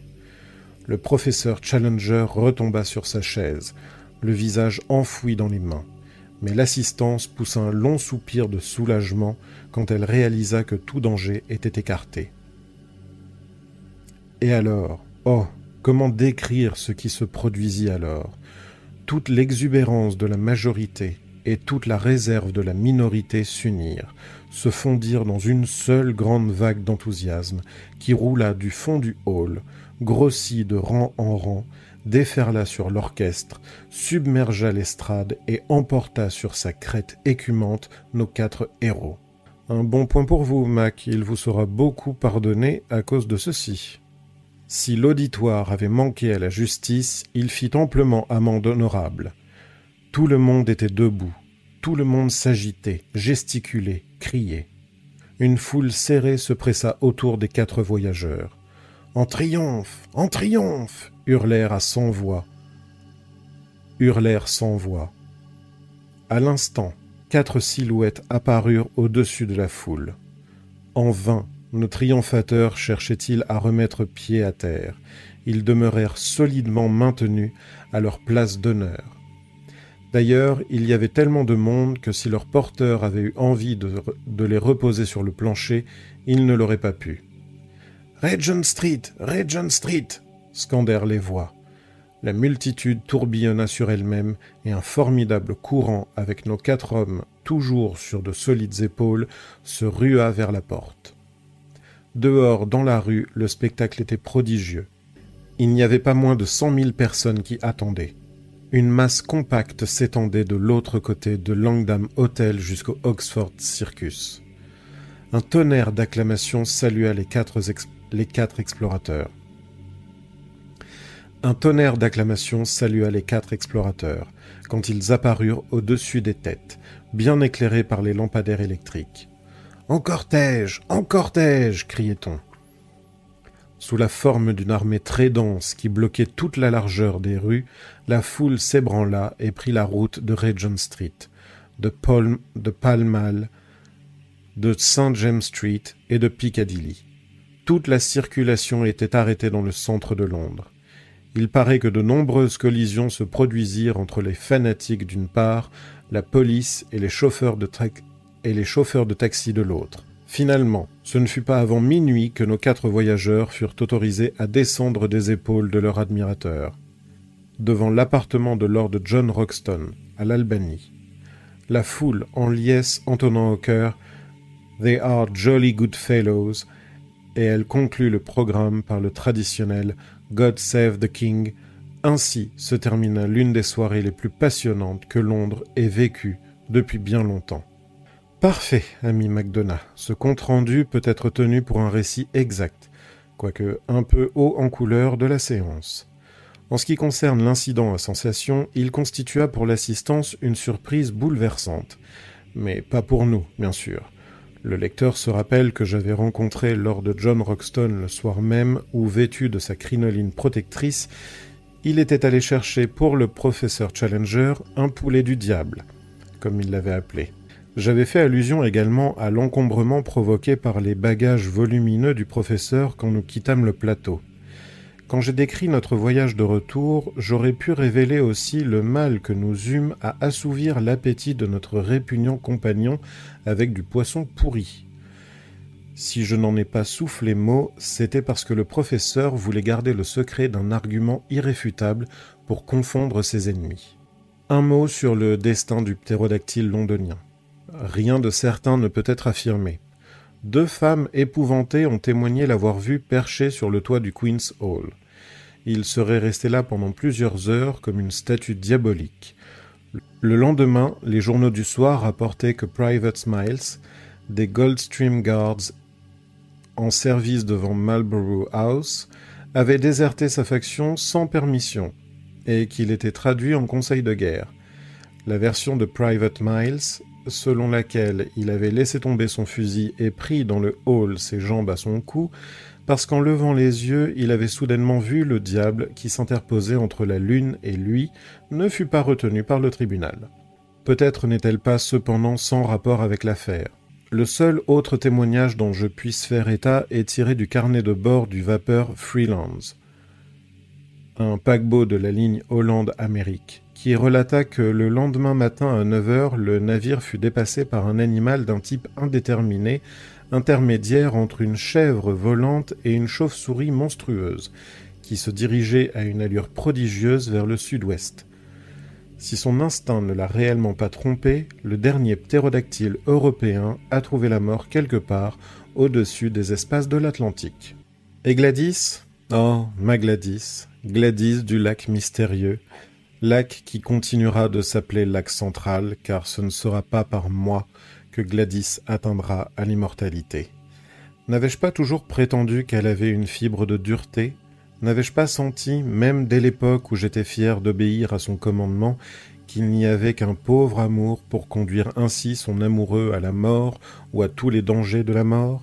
Est-ce que je n'avais pas discerné au fond de moi-même les ombres jumelles de l'égoïsme et de l'inconstance qui se détachaient sur la perfection du visage Aimait-elle l'héroïque et le spectacle Aimait-elle l'héroïque et le spectaculaire en eux-mêmes, ou bien les aimait-elle pour la gloire qui pouvait, sans effort de sacrifice, en rejaillir sur sa personne? À moins que ces pensées ne soient l'effet de la vaine sagesse qui se déclare après l'événement. Ce fut le choc de ma vie. Pendant quelque temps, je devins un vrai cynique. Mais déjà, tandis que j'écris une semaine à passer, et nous avons eu notre entretien capital avec Lord John Roxton, et après tout, les choses auraient pu être pires. Permettez-moi de les raconter en peu de mots. Aucune lettre, aucun télégramme ne m'attendait à Southampton. J'atteignis la petite villa de Streatham vers dix heures du soir, fébrilement inquiet. Était-elle morte ou en vie? Ou où étaient mes beaux rêves de bras ouverts, d'un sourire rayonnant, de louange envers l'homme qui avait risqué sa vie pour obéir à son caprice Ah, j'étais loin des hautes cimes à présent. J'avais les deux pieds sur terre. Peut-être de bonnes raisons m'aurait-elle projeté une fois encore dans les nuages. Bref, je fonçai dans le jardin, martelai la porte de mes poings, entendis la voix de Gladys à l'intérieur, bousculer la servante ébahie et me ruer dans le salon. Elle était assise sur un bas tabouret à la lumière de la lampe habituelle près du piano. En trois bonds, j'avais traversé la pièce et je m'étais emparé de ses mains. Gladys criai-je. Gladys Elle leva les yeux, surprise. Je lus sur son visage une altération subtile. L'expression durcie du regard et le pincement des lèvres étaient nouveaux. Elle libéra ses mains. Que me voulez-vous demanda-t-elle. Gladys, m'exclamai-je, qu'est-ce qui se passe? Vous êtes ma Gladys, n'est-ce pas, petite Gladys Hungerton? Non, fit-elle, je suis Gladys Potts. Permettez-moi de vous présenter à mon mari. Comme la vie est absurde. Je me surpris, m'inclinant mécaniquement devant un petit bonhomme aux cheveux poivre et sel, recroquevillé dans le grand fauteuil qui m'était autrefois réservé. Je lui serrai la main. Nous échangeâmes même un sourire. Papa nous permet de demeurer ici en attendant que notre maison soit achevée, dit Gladys. Ah, oui. Vous n'avez donc pas reçu ma lettre à Para Non. Oh, quel dommage. Elle vous aurait informé. Je suis parfaitement informé, dis-je. J'ai tout dit à William à votre sujet, poursuivit-elle. Nous n'avons pas de secret l'un pour l'autre. Je suis désolé, mais votre sentiment n'était pas trop profond, n'est-ce pas, puisque vous êtes parti pour l'autre extrémité du monde et que vous m'avez laissé seul. Vous ne m'en voulez pas, dites. Non, non, pas du tout. Je crois que je vais m'en aller. Vous prendrez bien quelque chose, dit le petit bonhomme qui ajouta sur le mode confidentiel. C'est toujours comme ça. Eh, ce sera toujours comme ça. Tant que vous ne serez pas polygame, la polygamie c'est le seul moyen de s'en sortir. Il éclata de rire comme un idiot tandis que je me dirigeais vers la porte. J'étais sur le seuil quand une soudaine impulsion me domina. Alors je revins vers mon heureux rival, qui loucha nerveusement vers la sonnette. Voudriez-vous répondre à une question? demandai-je. Si c'est une question raisonnable. Comment avez-vous réussi? Avez-vous cherché un trésor caché ou découvert un pôle, ou pourchassé un pirate, ou traversé la Manche à pied sec, ou quoi? Quel est l'éclat de votre aventure? Il me regarda avec une expression désespérée sur son visage, vide, honnête, bien lavé. Ne pensez-vous pas que cette question soit un peu trop personnelle? Bien, m'écriai-je. Alors une autre question. Qui êtes-vous? Quelle est votre profession? Je suis le secrétaire d'un homme de loi, me répondit-il, le deuxième homme chez Johnson's et Merivale's. 41 Chancery Lane. Bonne nuit. Là-dessus, je disparus, comme tous les héros au cœur brisé. Dans la nuit, le chagrin, la rage et le rire bouillonnaient en moi, comme dans une marmite. Encore une petite scène et j'en aurai fini. Hier soir, nous avons tous soupé dans l'appartement de Lord John Roxton. Ensuite, nous avons fumé, en bons amis, et nous avons évoqué une fois encore nos aventures. C'était étrange de voir dans un décor nouveau les vieilles figures que je connaissais si bien. Il y avait Challenger avec son sourire condescendant, ses paupières lourdes, ses yeux insolents, sa barbe agressive, son torse bombé, et il se gonflait, il soufflait tout en exposant ses idées à Summerlee. Et Summerlee aussi était là, avec sa courte pipe de bruyère entre sa moustache mince et son bouc gris, et sa tête décharnée, seyée au-dessus du cou, pendant qu'il débattait les propositions de Challenger. Enfin notre hôte, avec ses traits aquilins et ses yeux froids, bleus, toujours nuancés d'humour dans leur profondeur. Nous étions rassemblés dans son sanctuaire, la pièce aux éclairages roses et aux trophées innombrables, et Lord John Roxton avait quelque chose à nous dire. D'une armoire, il avait tiré une antique boîte à cigares et il l'avait posée devant lui sur la table. Il y a une chose, dit-il, dont peut-être j'aurais dû parler auparavant mais je voulais savoir un peu plus clairement où j'en étais. Inutile de faire naître des espoirs pour qu'ils s'effondrent ensuite, mais à présent il y a des faits, et pas seulement des espoirs. Vous rappelez-vous le jour où nous avons découvert la colonie de ptérodactyles dans le marais, hein? Eh bien, dans le sol, j'avais remarqué quelque chose. Peut-être cela vous a-t-il échappé, aussi je vais vous le dire. C'était un cratère volcanique plein d'argile bleue. Les professeurs acquiescèrent d'un signe de tête. Bon, eh bien dans le monde entier, je n'ai vu qu'un endroit où il y avait un cratère volcanique d'argile bleue. La grande mine de diamants de Kimberley. Les mines de Beers, hein? Alors, vous voyez, j'avais en tête une idée de diamant. J'ai construit un dispositif pour me tenir hors de portée de ces bêtes volantes, et j'ai passé une bonne journée là avec une petite bêche. Voici ce que j'en ai tiré. Il ouvrit sa vieille boîte à cigares et la renversa. Vingt ou trente pierres brutes, dont la forme variait entre celle d'un haricot et d'une noisette, roulèrent sur la table. Peut-être penserez-vous que j'aurais dû vous en parler. Oui, j'aurais dû. Seulement je sais qu'il existe quantité d'attrapes pour les imprudents. Ces pierres, en dépit de leur taille, pouvaient ne pas valoir grand-chose. Cela dépend de la couleur, de la consistance, alors je les ai apportées. Alors je les ai rapportées. Et dès mon arrivée ici, je suis allé faire un tour chez mon joaillier. Je lui ai demandé d'en tailler une et de l'évaluer.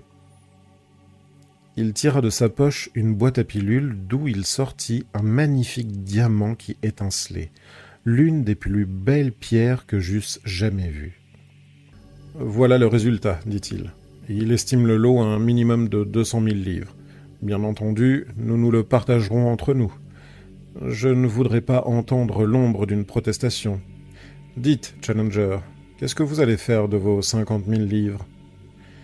Si vous persistez dans votre générosité, répondit le professeur, je fonderai un musée privé dont je rêve depuis toujours. Et vous, Summerlee Hmm, j'abandonnerai ma chair et je trouverai ainsi le temps de classer mes fossiles. Moi, ajouta, le Moi, ajouta Lord John Roxton, j'emploierai mes cinquante mille livres à organiser une expédition bien montée et à jeter un nouveau coup d'œil sur ce cher vieux plateau. Et vous, bébé Vous, naturellement, vous les dépenseriez pour votre mariage? Pas encore, dis-je avec un triste sourire. Je crois que si vous voulez bien de ma société, je préférerais aller avec vous. Lord Roxton ne me répondit pas, mais par-dessus la table, une main brune se tendit vers moi.